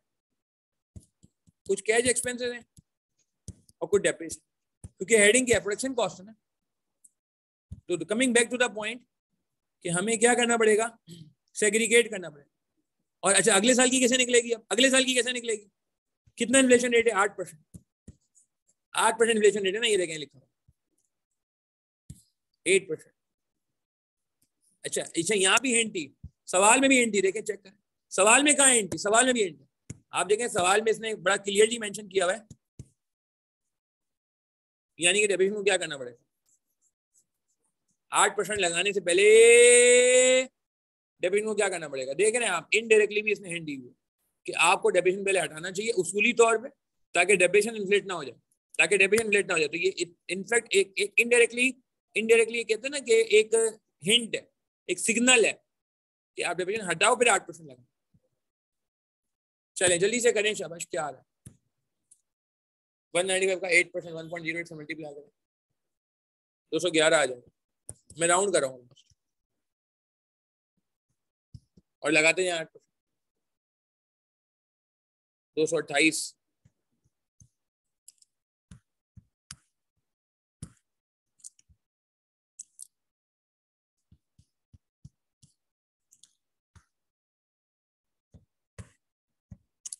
दो सौ छियालीस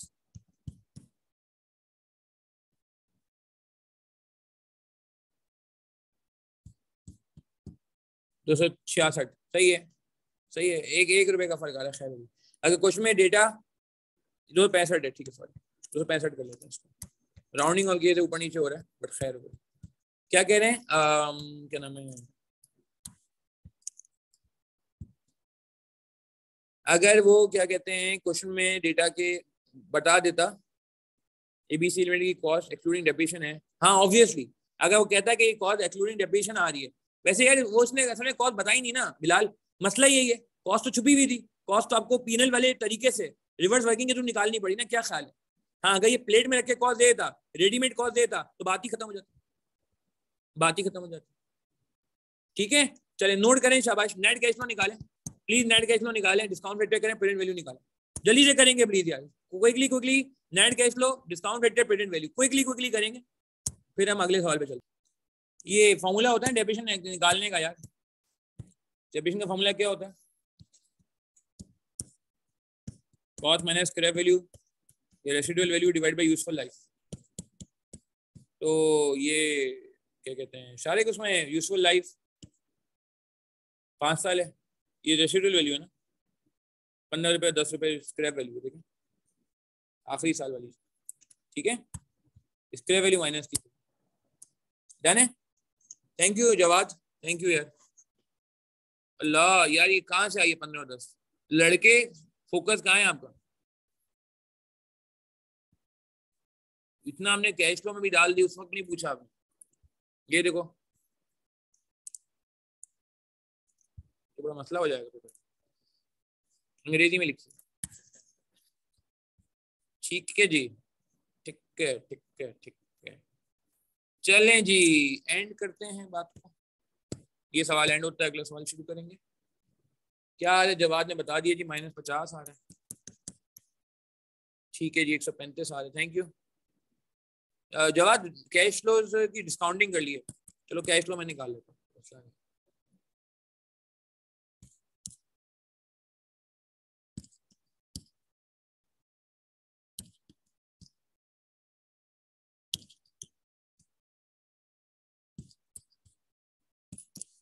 ठीक है जी पेरेंट वैल्यू निकाल लिए जवाब पॉइंट फाइव बता दो राउंड कर दें जवाब। क्या कहते हो? राउंड कर दें? कर सकते हैं ना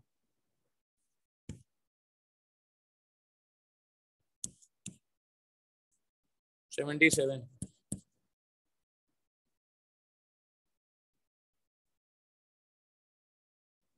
सेवेंटी एट। ठीक है एट्टी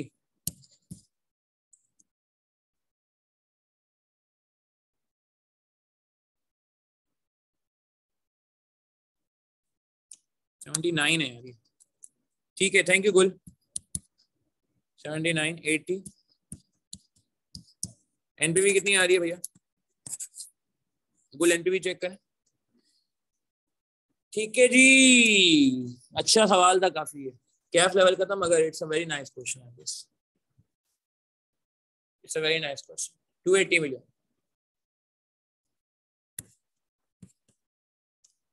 चलें, जल्दी नोट करें। शाबाश। फाइनल करें, शाबाश। अच्छा एक काम करते हैं, यहाँ पे हम एक काम करते हैं, छोटा सा ब्रेक कर लेते हैं फाइव मिनट्स का। पानी वानी पी लूँ मैं भी।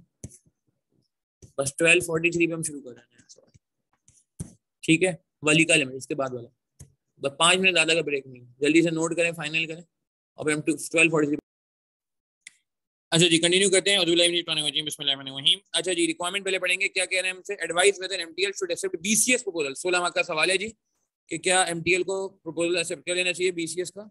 सवाल पढ़ेंगे Modern Transport Limited MTL is considering an investment proposal from Burak Cab Services. Another very good question, very quality question from CAF.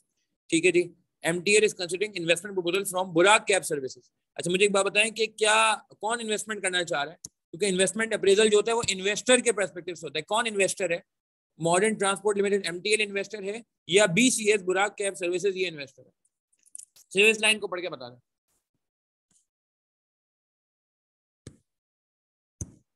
जवाब दें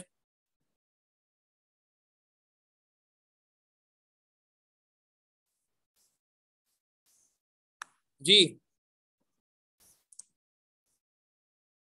बीसीएस इन्वेस्टर नहीं है जी, गलत बता रहे हैं सारे। रॉन्ग रॉन्ग रॉन्ग जवाब सही कह रहे हैं। बिलाल सही कह रहे हैं। ताहिर अंसारी सही कह रहे हैं। जी, बिल्कुल सही है। बिल्कुल M T L transport considering an investment proposal यानी कि इन्वेस्टमेंट करे नहीं किसने एम टी एल ने करना। तो एम टी एल इन्वेस्टर है। क्योंकि हमें पता है हम कौन है। हम इन्वेस्टर हैं। हम इन्वेस्टर के लिए इन्वेस्टमेंट अप्रेजल करते हैं। इन्वेस्टमेंट जो है अप्रेज करनी होती है इन्वेस्टर के परस्पेक्टिव से। तो एम टी एल इन्वेस्टर यानी कि हम इन्वेस्टर यानी कि हम बिज़नेस और रिकमेंड बढ़ के भी कुछ ऐसी फीलिंग आई थी whether M T L should accept B C S proposal कि एम टी एल को जो प्रपोजल आया इन्वेस्टमेंट का एक्सेप्ट करना चाहिए, नहीं करना चाहिए। आगे कह रहे हैं MTL would provided branded cars to BCS under the following terms and condition number 1 BCS would pay rent of 1.8 million per annum per per annum per car to MTL the car would be would operate on 24 hour basis the payment would be made on the end of the year payment कब होगी? साल के आखिर में होगी। ठीक है? अच्छा ए 1.8 मिलियन रेंटल हो गया।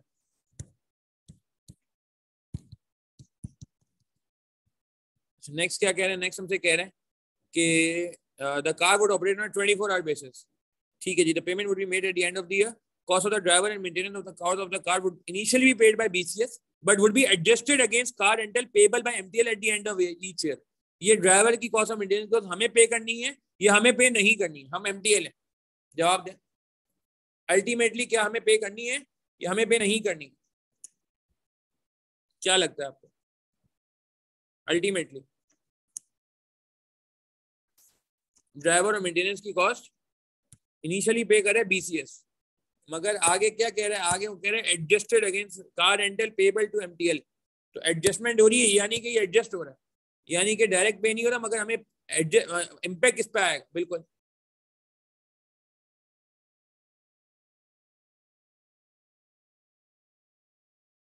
हमने करनी है, बिल्कुल बिल्कुल बिल्कुल।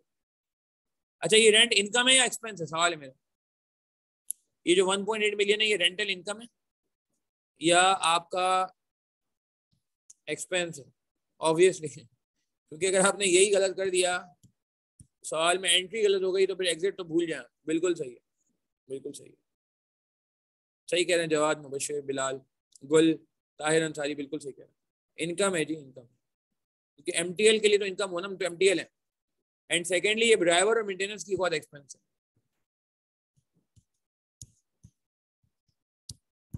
हमें पे करनी डायरेक्टली नहीं तो इनडायरेक्टली हमें पे करनी हमारे रेंटल में कट रही है ना फिर एडजस्ट हो रही है। रेंटल चेंज हो रहा है।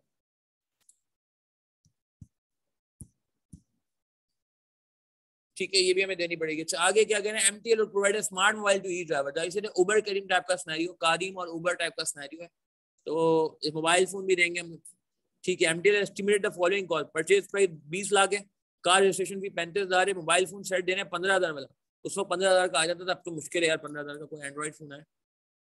इंश्योरेंस प्रीमियम पचास हज़ार to be paid at the beginning of each year अब ये याद आ रहा है, हमने सरफराज अहमद का एक सवाल किया था कि अगर बिगिनिंग में एक्सपेंस होता है तो क्या होता है? At the beginning of each year it would reduce by 5 each year due to decrease in WDV of the car. Beginning of the each year आ रहा है तो इसकी वजह क्या फ़र्क पड़ेगा? इसको हमें गौर से देखना होगा, ठीक है? और ये पाँच पाँच हज़ार कम भी होता जा रहा है। एनुअल सैलरीज पर ड्राइवर तीन lakh would work in eight hour shift अच्छा ये बताएँ, कितने ड्राइवर एम्प्लॉय करेंगे?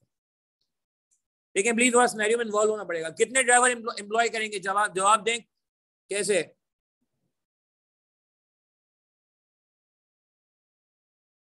बिगिनिंग मीन्स हाँ बिल्कुल बिल्कुल टायरन सर तीन ड्राइवर कैसे कह रहे हैं? कि एक ड्राइवर से हम आठ घंटे ज़्यादा काम नहीं कराते। एक ड्राइवर से हम आठ घंटे ज़्यादा काम नहीं कराते और ट्वेंटी फोर आवर्स की शिफ्ट है। ग्रीन से हाईलाइट कर लेते हैं ट्वेंटी फोर आवर्स की शिफ्ट है। और एक आठ एक ड्राइवर से हम आठ घंटे काम कराते हैं। आठ घंटे की शिफ्ट होगी तो, तो तीन ड्राइवर वेरी गुड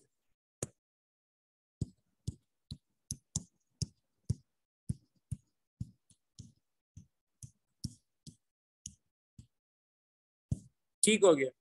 अच्छा इंश्योरेंस एडवांस में था ख्याल रखना होगा। इंश्योरेंस एडवांस में ख्याल रखना होगा। और आगे क्या कह रहे हैं? आगे कह रहे हैं मोबाइल फ़ोन भी कितने देंगे? मोबाइल फ़ोन भी कितने देंगे फिर आप? हाँ? क्या कहते हैं? तीन दें या एक ही से काम चल जाएगा? क्या लगता है?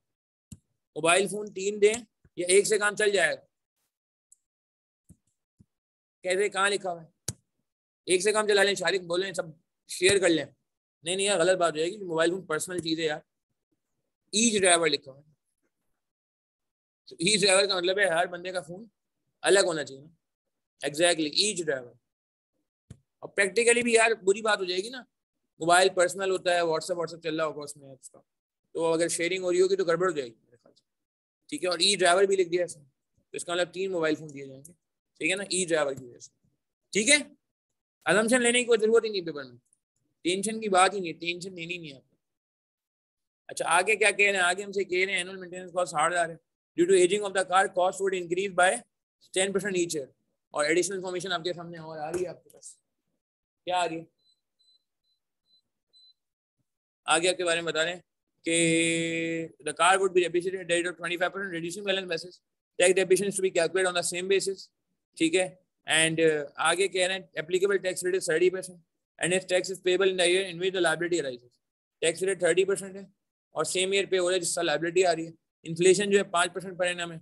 और एम टी एल कॉलर कैपिटल बारह परसेंट है। डिस्काउंट रेट इस बार भी बारह परसेंट है। टैक्स है तो डेपेशन काम की होगी, बिल्कुल होगी। Advise whether M T L should accept B C S अच्छा ये सारी बातें मैं करने से पहले एक एक एक काम करना चाह रहा हूँ, एक समरी बनाना चाह रहा हूँ कि इन्फ्लेशन कब से होती है। ठीक है? एक मिनट रुकेंगे। एक मिनट रुकेंगे। अच्छा यार, ये एक समरी आपके सामने बनी है, इसको नोट भी कर लीजिएगा। और मुझे बताएँ क्या होगा। कभी कभार एक मसला रहता है स्टूडेंट्स को। मैं चाहता हूँ इस मसले को ख़त्म कर दें हम आज ही। ठीक है? ताकि मसला ख़त्म हो जाए और ये आपको जो है ना, क्या कहते हैं आइडेंटिफाई करने में कभी दुश्वारी ना उम्र भर के लिए मसला ख़त्म हो जाए। इन्फ्लेशन एयर वन से अप्लाई करें एयर टू से अप्लाई करें, ये अक्सर एक प्रॉब्लम रहता है। तो इसका जवाब आज हम ढूंढेंगे। सही है, और कुछ रेलिवेंट जिसे कहते हैं ना कि लिंक्स के साथ लॉजिक्स के साथ, कुछ स्टेटमेंट मैंने सामने रखी उन स्टेटमेंट की बेस फैसला करेंगे। देखिएगा प्लीज़ अगर वो ये कहता है कि मटेरियल प्राइस पहला केस है without inflation is rupees ten अच्छा पहले तो मुझे बताएँ, आपको सेल रिकॉर्ड कब करनी होती है या कॉस्ट रिकॉर्ड कब करनी होती है? यूजुअली यूजुअली आप कब रिकॉर्ड करते हैं? फिगर्स को। आपको फिगर रिकॉर्ड कब करनी होती है? ज़िंदगी की पहली फिगर कब रिकॉर्ड करनी होती है इसकी? एयर ज़ीरो पे नहीं एयर वन पे रिकॉर्ड करनी होती है। एयर वन पे रिकॉर्ड करनी होती है। है ना? ऐसा ही है? अब आप मुझे बताएँ कि क्या लगता है कि अगर एक प्राइस विदाउट इन्फ्लेशन दस रुपये लिखी हुई है तो ये अब इन्फ्लेशन का रेट पाँच परसेंट है। तो इस पे जो इन्फ्लेशन लगेगा, क्या वो पहले साल से लगेगा? या दूसरे साल से लगेगा। कभी इन्फ्लेट एयर वन से हो रहा होता है, यानी कि एयर वन में भी इन्फ्लेटेड अमाउंट आता है और एयर टू में भी आता है। और कभी कभार इन्फ्लेशन एयर टू से लग रहा होता है, यानी कि एयर वन में सेम आता है। और एयर टू से इन्फ्लेट हो रहा होता है। ये दो केसेस हैं। तीसरा कोई केस नहीं। तो ये मुख्तलिफ़ मैंने सिनेरियो बना दिए और आप हर सिनेरियो पे बारी बारी अप्लाई करके बताएँगे क्या करना है। पहले सिनेरियो में क्या लग रहा है? कि अगर वो कह रहे हैं, material price without inflation is दस रुपए और आपको बताया जा रहा है इन्फ्लेशन पाँच परसेंट है तो आप इन्फ्लेशन एयर वन से लगाएँगे टू से लगाएँगे। अच्छा ये मैं पहले वाला बताया था आपको। बल्कि काम करें, आप खुद ट्राई करें पहले, इसको नोट करें। मैं अजान के बाद बात करता हूँ। अजान हो रही मैं अजान के बाद बात करता हूँ। इसको नोट कर लेते हैं मैं अजान के बाद बात जी, जवाब दें। अच्छा अब यहाँ पे क्या कह रहे थे, पहले साल में ये फिगर विदाउट इन्फ्लेशन यानी कि आज की फिगर विदाउट इन्फ्लेशन का मतलब है कि अभी इस पर इन्फ्लेशन नहीं लगी। तो जब ये आज की फिगर और हमें एयर वन पे फिगर रिकॉर्ड करनी है, पहले साल फिगर रिकॉर्ड करनी है सही है तो पहले साल जो फिगर रिकॉर्ड होगी, क्या लगता है? वो दस रुपए ही रिकॉर्ड हो जाए? या इन्फ्लेट करके रिकॉर्ड हो? क्या दस रुपए as it is year one में आ सकते हैं? सवाल है मेरा। क्या दस रुपए as it is year one में आ सकता है? मेरे ख्याल से नहीं आ सकता, क्योंकि एयर वन में जो फिगर आएगा, ये जो फिगर है, ये एयर ज़ीरो लेवल पे अगर मैं एक टाइमलाइन बना के ही बात करूँ, ये एयर ज़ीरो लेवल पे फिगर है। इधर की बात हो रही पहले केस की बात हो रही और आपको रिकॉर्ड करना है मटेरियल एयर वन पे। यानी कि जब एक साल बाद रिकॉर्ड करेंगे तो उस वक्त महँगाई हो चुकी होगी, पाँच परसेंट इन्फ्लेट हो चुका होगा, यानी कि एयर वन से इन्फ्लेट होगा एयर वन भी इन्फ्लेट होगा। Year two three four five का तो मसला होता ही नहीं है। असल मसला ये होता है कि एयर वन पे इन्फ्लेट करें या ना करें।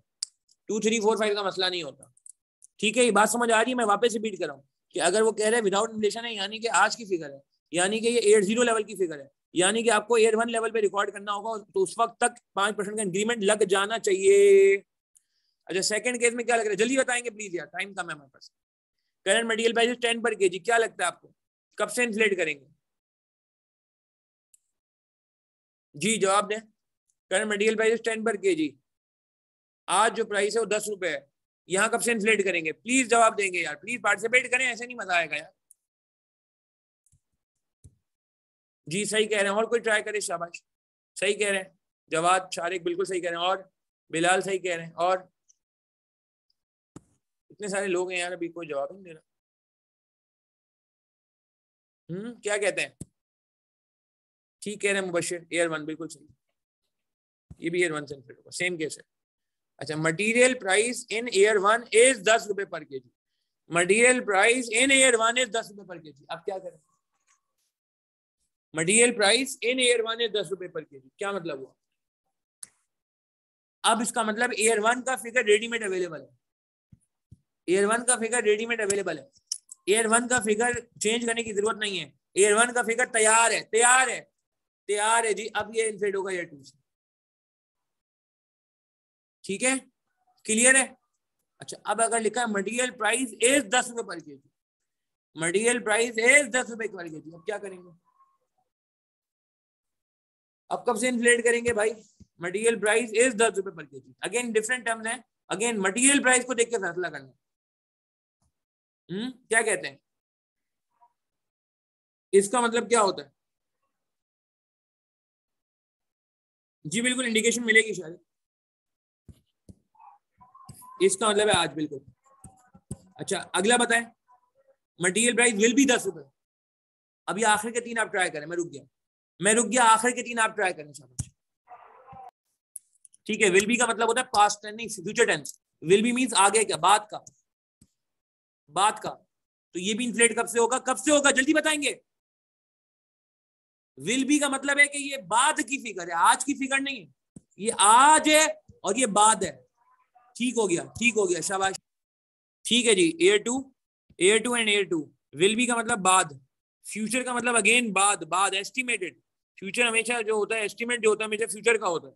आज का कभी एस्टिमेट नहीं होगा, हमेशा आगे का एस्टिमेट होगा, बाद का एस्टिमेट होगा। यानी कि ये बाद की फिगर है, यानी कि आज की फिगर नहीं है। ये बाद की फिगर है। उर्दू में कहते हैं बाद।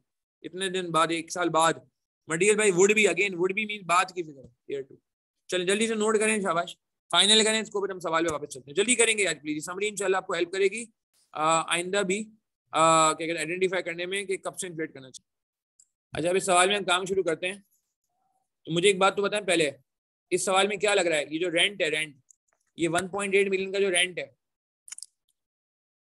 ये कब से इन्फ्लेट होगा? अब इस सवाल में गलत अप्लाई नहीं करना। ये जो रेंट है 1.8 मिलियन का, इसको मैं मिटा देता हूँ, इसकी ज़रूरत नहीं हाईलाइट करने की। ये 1.8 मिलियन का रेंट कब से इन्फ्लेट होगा जी? जवाब दीजिए। नीचे लिखा हुआ इन्फ्लेशन रेट पाँच परसेंट है। इन्फ्लेशन रेट पाँच परसेंट है। यार, सबने जवाब देना है। अब ये इतनी मेहनत होगी, ये समरी बना ली है। रिकॉर्डिंग वाले आज़ाद आप भी ट्राई करें, ध्यान में लिखाएँ कहीं अपने रजिस्टर में लिखें। बाकी जो लोग लाइव में उनसे भी मैं गुजारिश करूँगा। नहीं कमल उल्टा कह रहे हैं। जवाब सही कह रहे हैं बिलाल सही कह रहे हैं। और कोई जवाब दे शाबाश।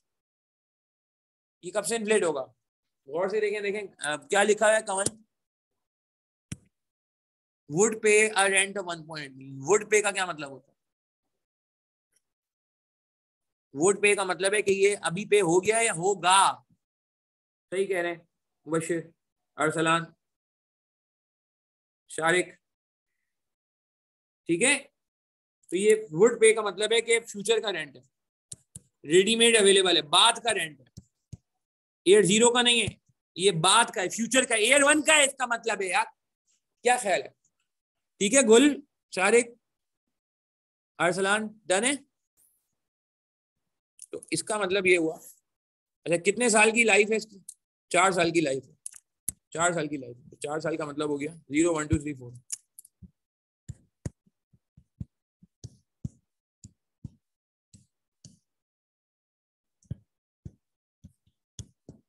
rentals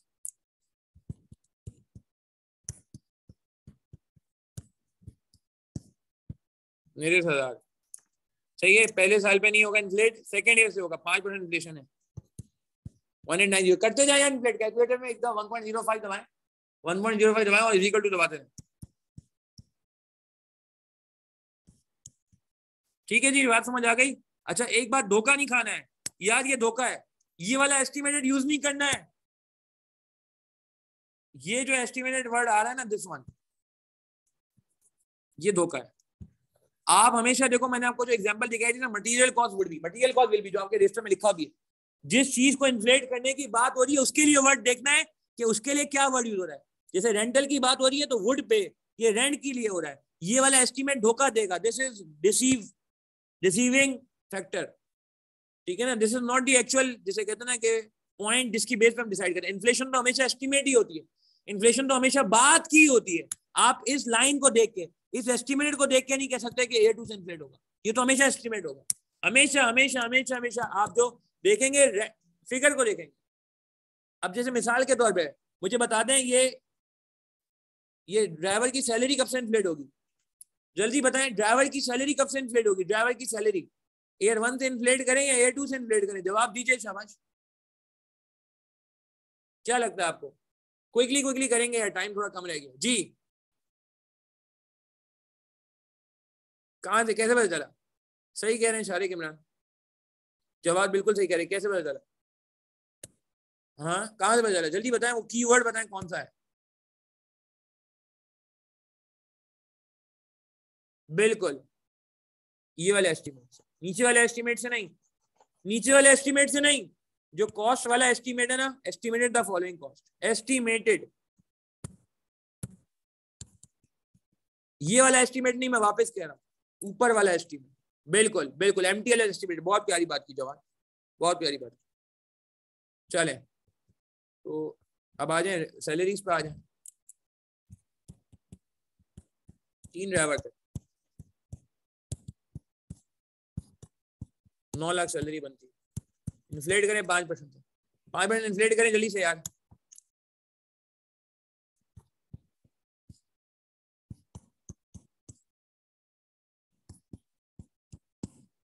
ठीक हो गया तो रेंटल निमट गया। सैलरी निमट गई। और बताएँ जल्दी से। और बताएँ इंश्योरेंस प्रीमियम आ गया। अच्छा गाड़ी में भी क्यों नहीं लिख रहा अभी? कार क्यों नहीं लिख रहा अभी? कार क्यों नहीं लिख रहा मैं अभी? जवाब दें? लॉजिक बताएँ, बिल्कुल पहले बात हो चुकी है, बिल्कुल पहली क्लास में। जब टैक्स आता है तो हम पहले टैक्सेबल आइटम्स लिखते हैं। जब टैक्स आता है तो हम पहले टैक्सेबल फिगर लिखते हैं। गाड़ी इज़ अ कैपिटल एक्सपेंडिचर ना यार। पीनल में नहीं आता ना टैक्स टैक्स की वर्किंग में नहीं आएगा। हाँ इसका डेप्रिसिएशन आएगा। अब मेरी बात समझ डेप्रिसिएशन आएगा, मगर ये खुद नहीं आएगा। अच्छा कार रजिस्ट्रेशन फ़ी करने में क्या ख्याल है? ये रेवेन्यू एक्सपेंडिचर होता है या कैपिटल एक्सपेंडिचर होता है? क्या लगता है? प्रोडक्ट स्टडीज़ रिकॉल करें अपनी। जो गाड़ी की रजिस्ट्रेशन फ़ी होती है, क्या कहते हैं इसके बारे में? कैपिटल एक्सपेंडिचर है या रेवेन्यू एक्सपेंडिचर है? हम्म हम्म नहीं नहीं, मुबशर, यार ये वो है ना asset to bring the expense to bring the asset into usable condition into usable condition Pakistan में तो चल जाती है applied for number applied for registration की एएफआर की नंबर प्लेट लगा के चला लेते हैं लोग गाड़ी। मगर बाहर मुल्कों में अलाउ नहीं अब तो पाकिस्तान में ही सख्ती हो गई है। तो ये तो कॉस्ट का पार्ट है मेरे ख्याल से, बिल्कुल कॉस्ट का पार्ट है तो ऐड होगा इसमें। ठीक है दो मिलियन में ऐड होगा। ठीक है, बात समझ आ रही है? तो ये तो नहीं आएगा। मोबाइल फ़ोन मोबाइल फ़ोन आएगा। मोबाइल फ़ोन आएगा। कितने मोबाइल दे दिए हमने?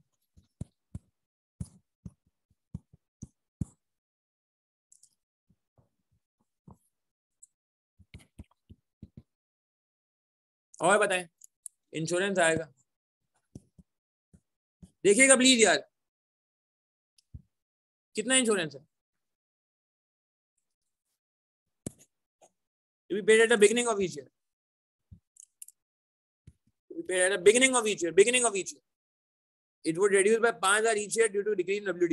पहला कब आएगा? पहला कब आएगा? एयर वन वाला इंश्योरेंस बिगनिंग का मतलब है एयर वन वाला ज़ीरो पे आएगा. टू वन वाला ज़ीरो पे आएगा. टू वाला वन पे आएगा.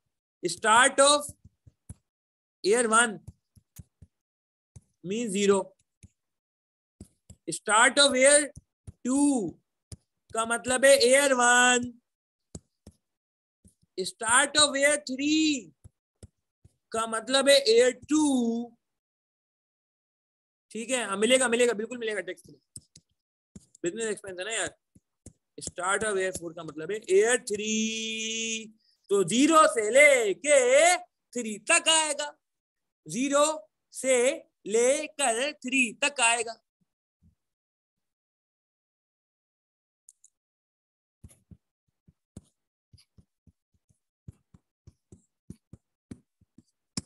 ठीक है जी इंश्योरेंस आ गया इंश्योरेंस आ गया अब क्या रह गया?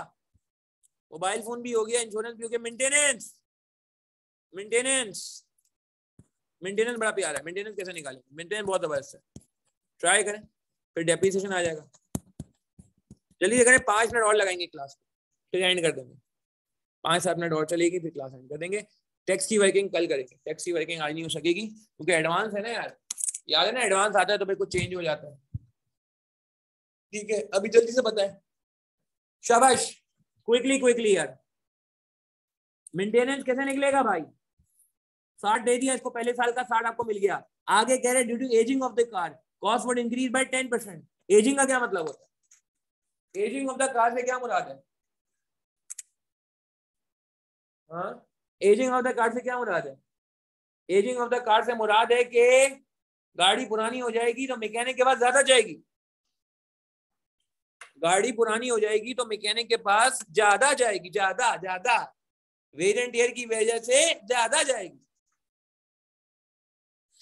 ठीक है ना? तो बताइए, जवाब दीजिए। हाँ शाबाश। तो, तो, तो वो तो इन्फ्लेशन है वो नहीं लगेगा क्या? इन्फ्लेशन है वो नहीं लगेगा क्या? प्लीज़ ट्राई करें यार।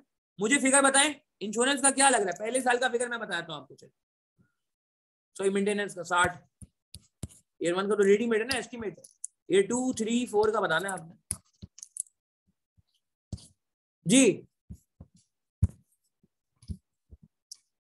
ए टू थ्री फोर का बताना है यार। प्लीज़ ट्राई करें जवाब मुझे लग रहा है सही आपको। बाकी लोग ट्राई करें। नहीं ताहिर, बात ये है कि एक चीज़ होती है वॉल्यूम एक होती है प्राइस मेंटेनेंस पे प्राइस इफ़ेक्ट भी लगेगा इन्फ्लेशन वाला प्राइस इफ़ेक्ट और ताहिर, इसमें वॉल्यूम इफ़ेक्ट भी लगेगा ना लड़के। एजिंग का मतलब क्या है? देखो, इसने एक्सप्लेन किया हुआ है। मैकेनिक के पास ज़्यादा जाएगी ना गाड़ी। एक तो मैकेनिक के का ज़्यादा जाएगी गाड़ी, दूसरा मैकेनिक भी पैसे बढ़ा देगा। मैकेनिक पैसे सेम नहीं रखेगा, आठ साल इन्फ्लेशन की वजह से पाँच परसेंट बढ़ाएगा। सारी बात समझ आ रही है? एजिंग का मतलब क्या है कि गाड़ी पुरानी हो गई टूट फूट का शिकार हो गई वेर एंड टेयर का शिकार हो रही है ज़्यादा। तो अब चक्कर ज़्यादा लग रहा है वॉल्यूम ज़्यादा हो रहा है। तो बताओ जरा ताहिर ट्राई करते हो फिगर यार, गोल का सही है वेरी गुड गोल। सही है बिलाल? नेरेस्ट कर ले नेरेस्ट नेरेस्ट कर ले। Into one point one into one point zero five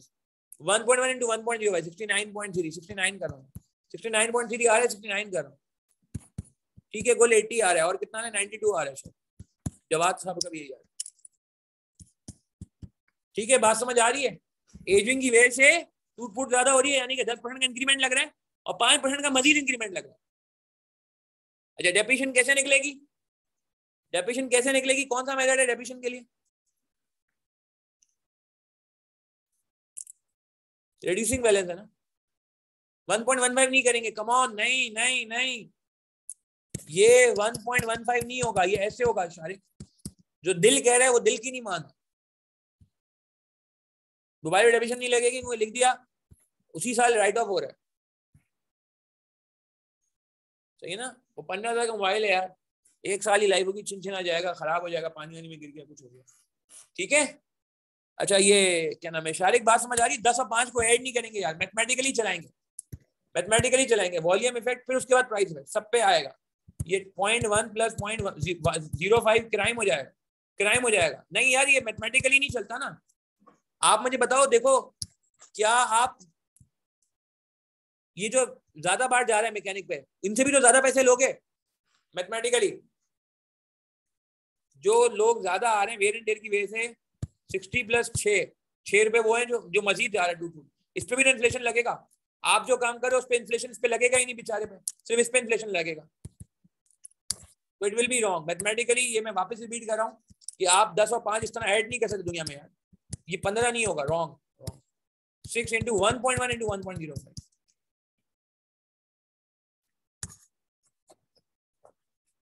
ठीक है? अच्छा लॉजिक बताई ना मैंने यार, कि पहले आपने क्या किया? इंटू वन पॉइंट वन कर दिया। ये कौन सा इफ़ेक्ट आ गया? देखें शारिक मैं वापस एक्सप्लेन कर रहा हूँ, ताहिर मैं वापस एक्सप्लेन कर रहा हूँ। ये वॉल्यूम इफ़ेक्ट आ गया। यानी कि अब साठ की जगह कितने की? मेंटेनेंस होगी सिक्सटी सिक्स की। फिर ख्याल आया कि भाई इन्फ्लेशन भी तो लगेगा। किस पे? हम्म किस पे?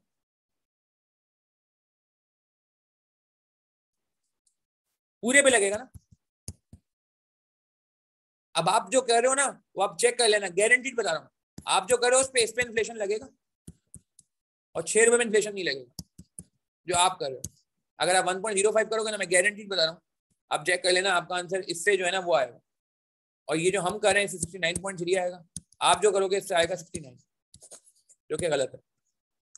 ये सारी बात समझ आ रही है? जो गाड़ी, जो एक्स्ट्रा जा रहे हो आप वेर एंड टेयर की वजह से उस पर भी तो पैसे नए वाले देने पड़ेंगे, पुराने वाले थोड़ी देंगे पिछले साल के पैसे थोड़ी दोगे टायर सही है चेक करो, इससे सिक्सटी नाइन आएगा टायर इस तरीके से।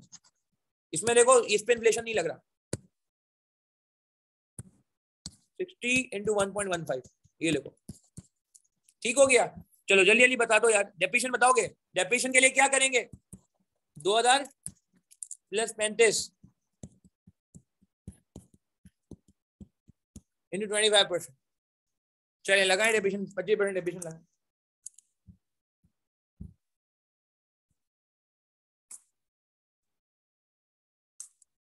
Five zero nine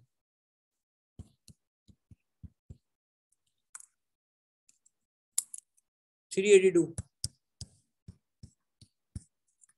ये पता ना पॉइंट सेवन फाइव से मल्टीप्लाई हो जाता है। इसको पॉइंट सेवन फाइव से मल्टीप्लाई करोगे शॉर्टकट अकाउंटिंग वाला। पॉइंट सेवन फाइव से मल्टीप्लाई करोगे फिगर आ जाएगी। Two eighty six two one five calculator में सिंपल एक पॉइंट सेवन फाइव का फ़ंक्शन लगा दो। ठीक है जी? टू वन फाइव चले यार, यहीं तक रखते हैं आज की क्लास बाकी कंटिन्यू करेंगे। नमाज़ का भी टाइम हो रहा है। या गेन लॉस निकाल लें क्या? कॉस्ट माइनस एक्यूमुलेट डेप्रिसिएशन एक बस ये गेन निकाल लॉस निकाल के चले जाते हैं लॉस एक्यूमुलेट डेप्रिसिएशन लॉस निकाल के चले जाते गेन आ रहा है लॉस आ रहा है, देखो। डेढ़ बजे नमाज़ टाइम तो है मेरे पास। थोड़ा सा है मेरे पास। जल्दी देखें क्या है डब्ल्यू यार। कॉस में से माइनस कर दीजिए accumulate depreciation accumulate depreciation minus कर दीजिए।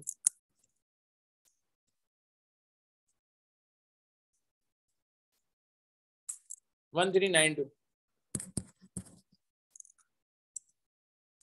six forty three क्या लगता है? गेन आ रहा है? लॉस आ रहा है। स्क्रैप वैल्यू कितनी है? नहीं नहीं रेसिडुअल वैल्यू कितनी है? जवाब और से देखें, गुल रेसिडुअल वैल्यू भी तो है यार। पॉइंट सेवन फाइव मिलियन चार साल बाद एसेट गाड़ी बिक जाएगी साढ़े सात लाख रुपए की। गाड़ी है ना यार सेल तो हो सकती है। क्या ख्याल है?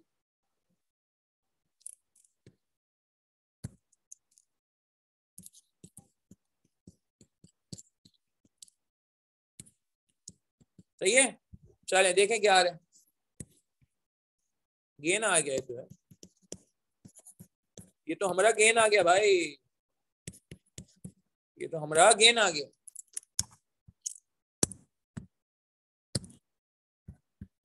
चले, मेरे ख्याल से यहीं तक रखते हैं। गेन और बहुत सिंपल था। कॉस में एक मिनट, माइनस की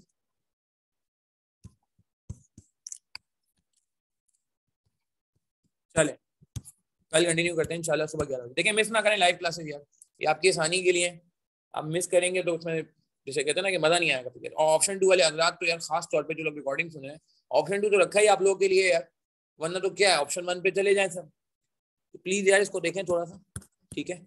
और कोशिश करें कि यार लाइव क्लासेस लें। टाइम भी बहुत मुनासिब था, इस टाइम कोई क्लैश भी नहीं होता, मैंने चेक कर लिया। काफ़ी सही जगहों से आपका कोई क्लैश नहीं है इस टाइम हाँ एक क्लैश है कि भाई कोई लोग देर से सो के उठना पसंद करते हैं तो अलग बात है ग्यारह बजे यार इट्स टू लेट यार। आई गेस ठीक है तो प्लीज़ यार कोशिश करें। चले, कल मिलते हैं इंशाल्लाह आपसे यार, मुलाकात होती है कल। ठीक है, ग्यारह बजे, अपना ख्याल रखिएगा प्लीज़ दुआ में याद रखिएगा। इनशाला आपसे मिलते हैं। नमाज़ पढ़ लीजिएगा जोहर की नमाज़ का टाइम हो। गया जी नमाज़ जो है ना छोड़ें। ठीक है, इसको नोट कर लें यार, इसको नोट भी कर लें। बाकी कोई क्वेरी होती है तो यार देखें, आपका मेरा नंबर मौजूद है। मैं वापस दे रहा हूँ अपना नंबर ये मेरा नंबर नोट कर लें। कोई भी क्वेरी होती है, कोई आप जैसे किसी वजह से लाइव में नहीं आ पाते रिकॉर्डिंग लिख रहे हैं, अगर ये मेरा नंबर मौजूद है व्हाट्सअप करें, मैं अलहमदिल्ला सारी queries maximum twenty four hours कह रहा हूँ, मगर अल्लाह का शुक्र है, उससे पहले पहले ही मैं रिस्पॉन्ड करता हूँ सारी क्वेरी ठीक है जी, चले, यहीं तक रखते हैं। थैंक यू वेरी मच इनशाला आपसे कल मुलाकात होती है असल वालेकुम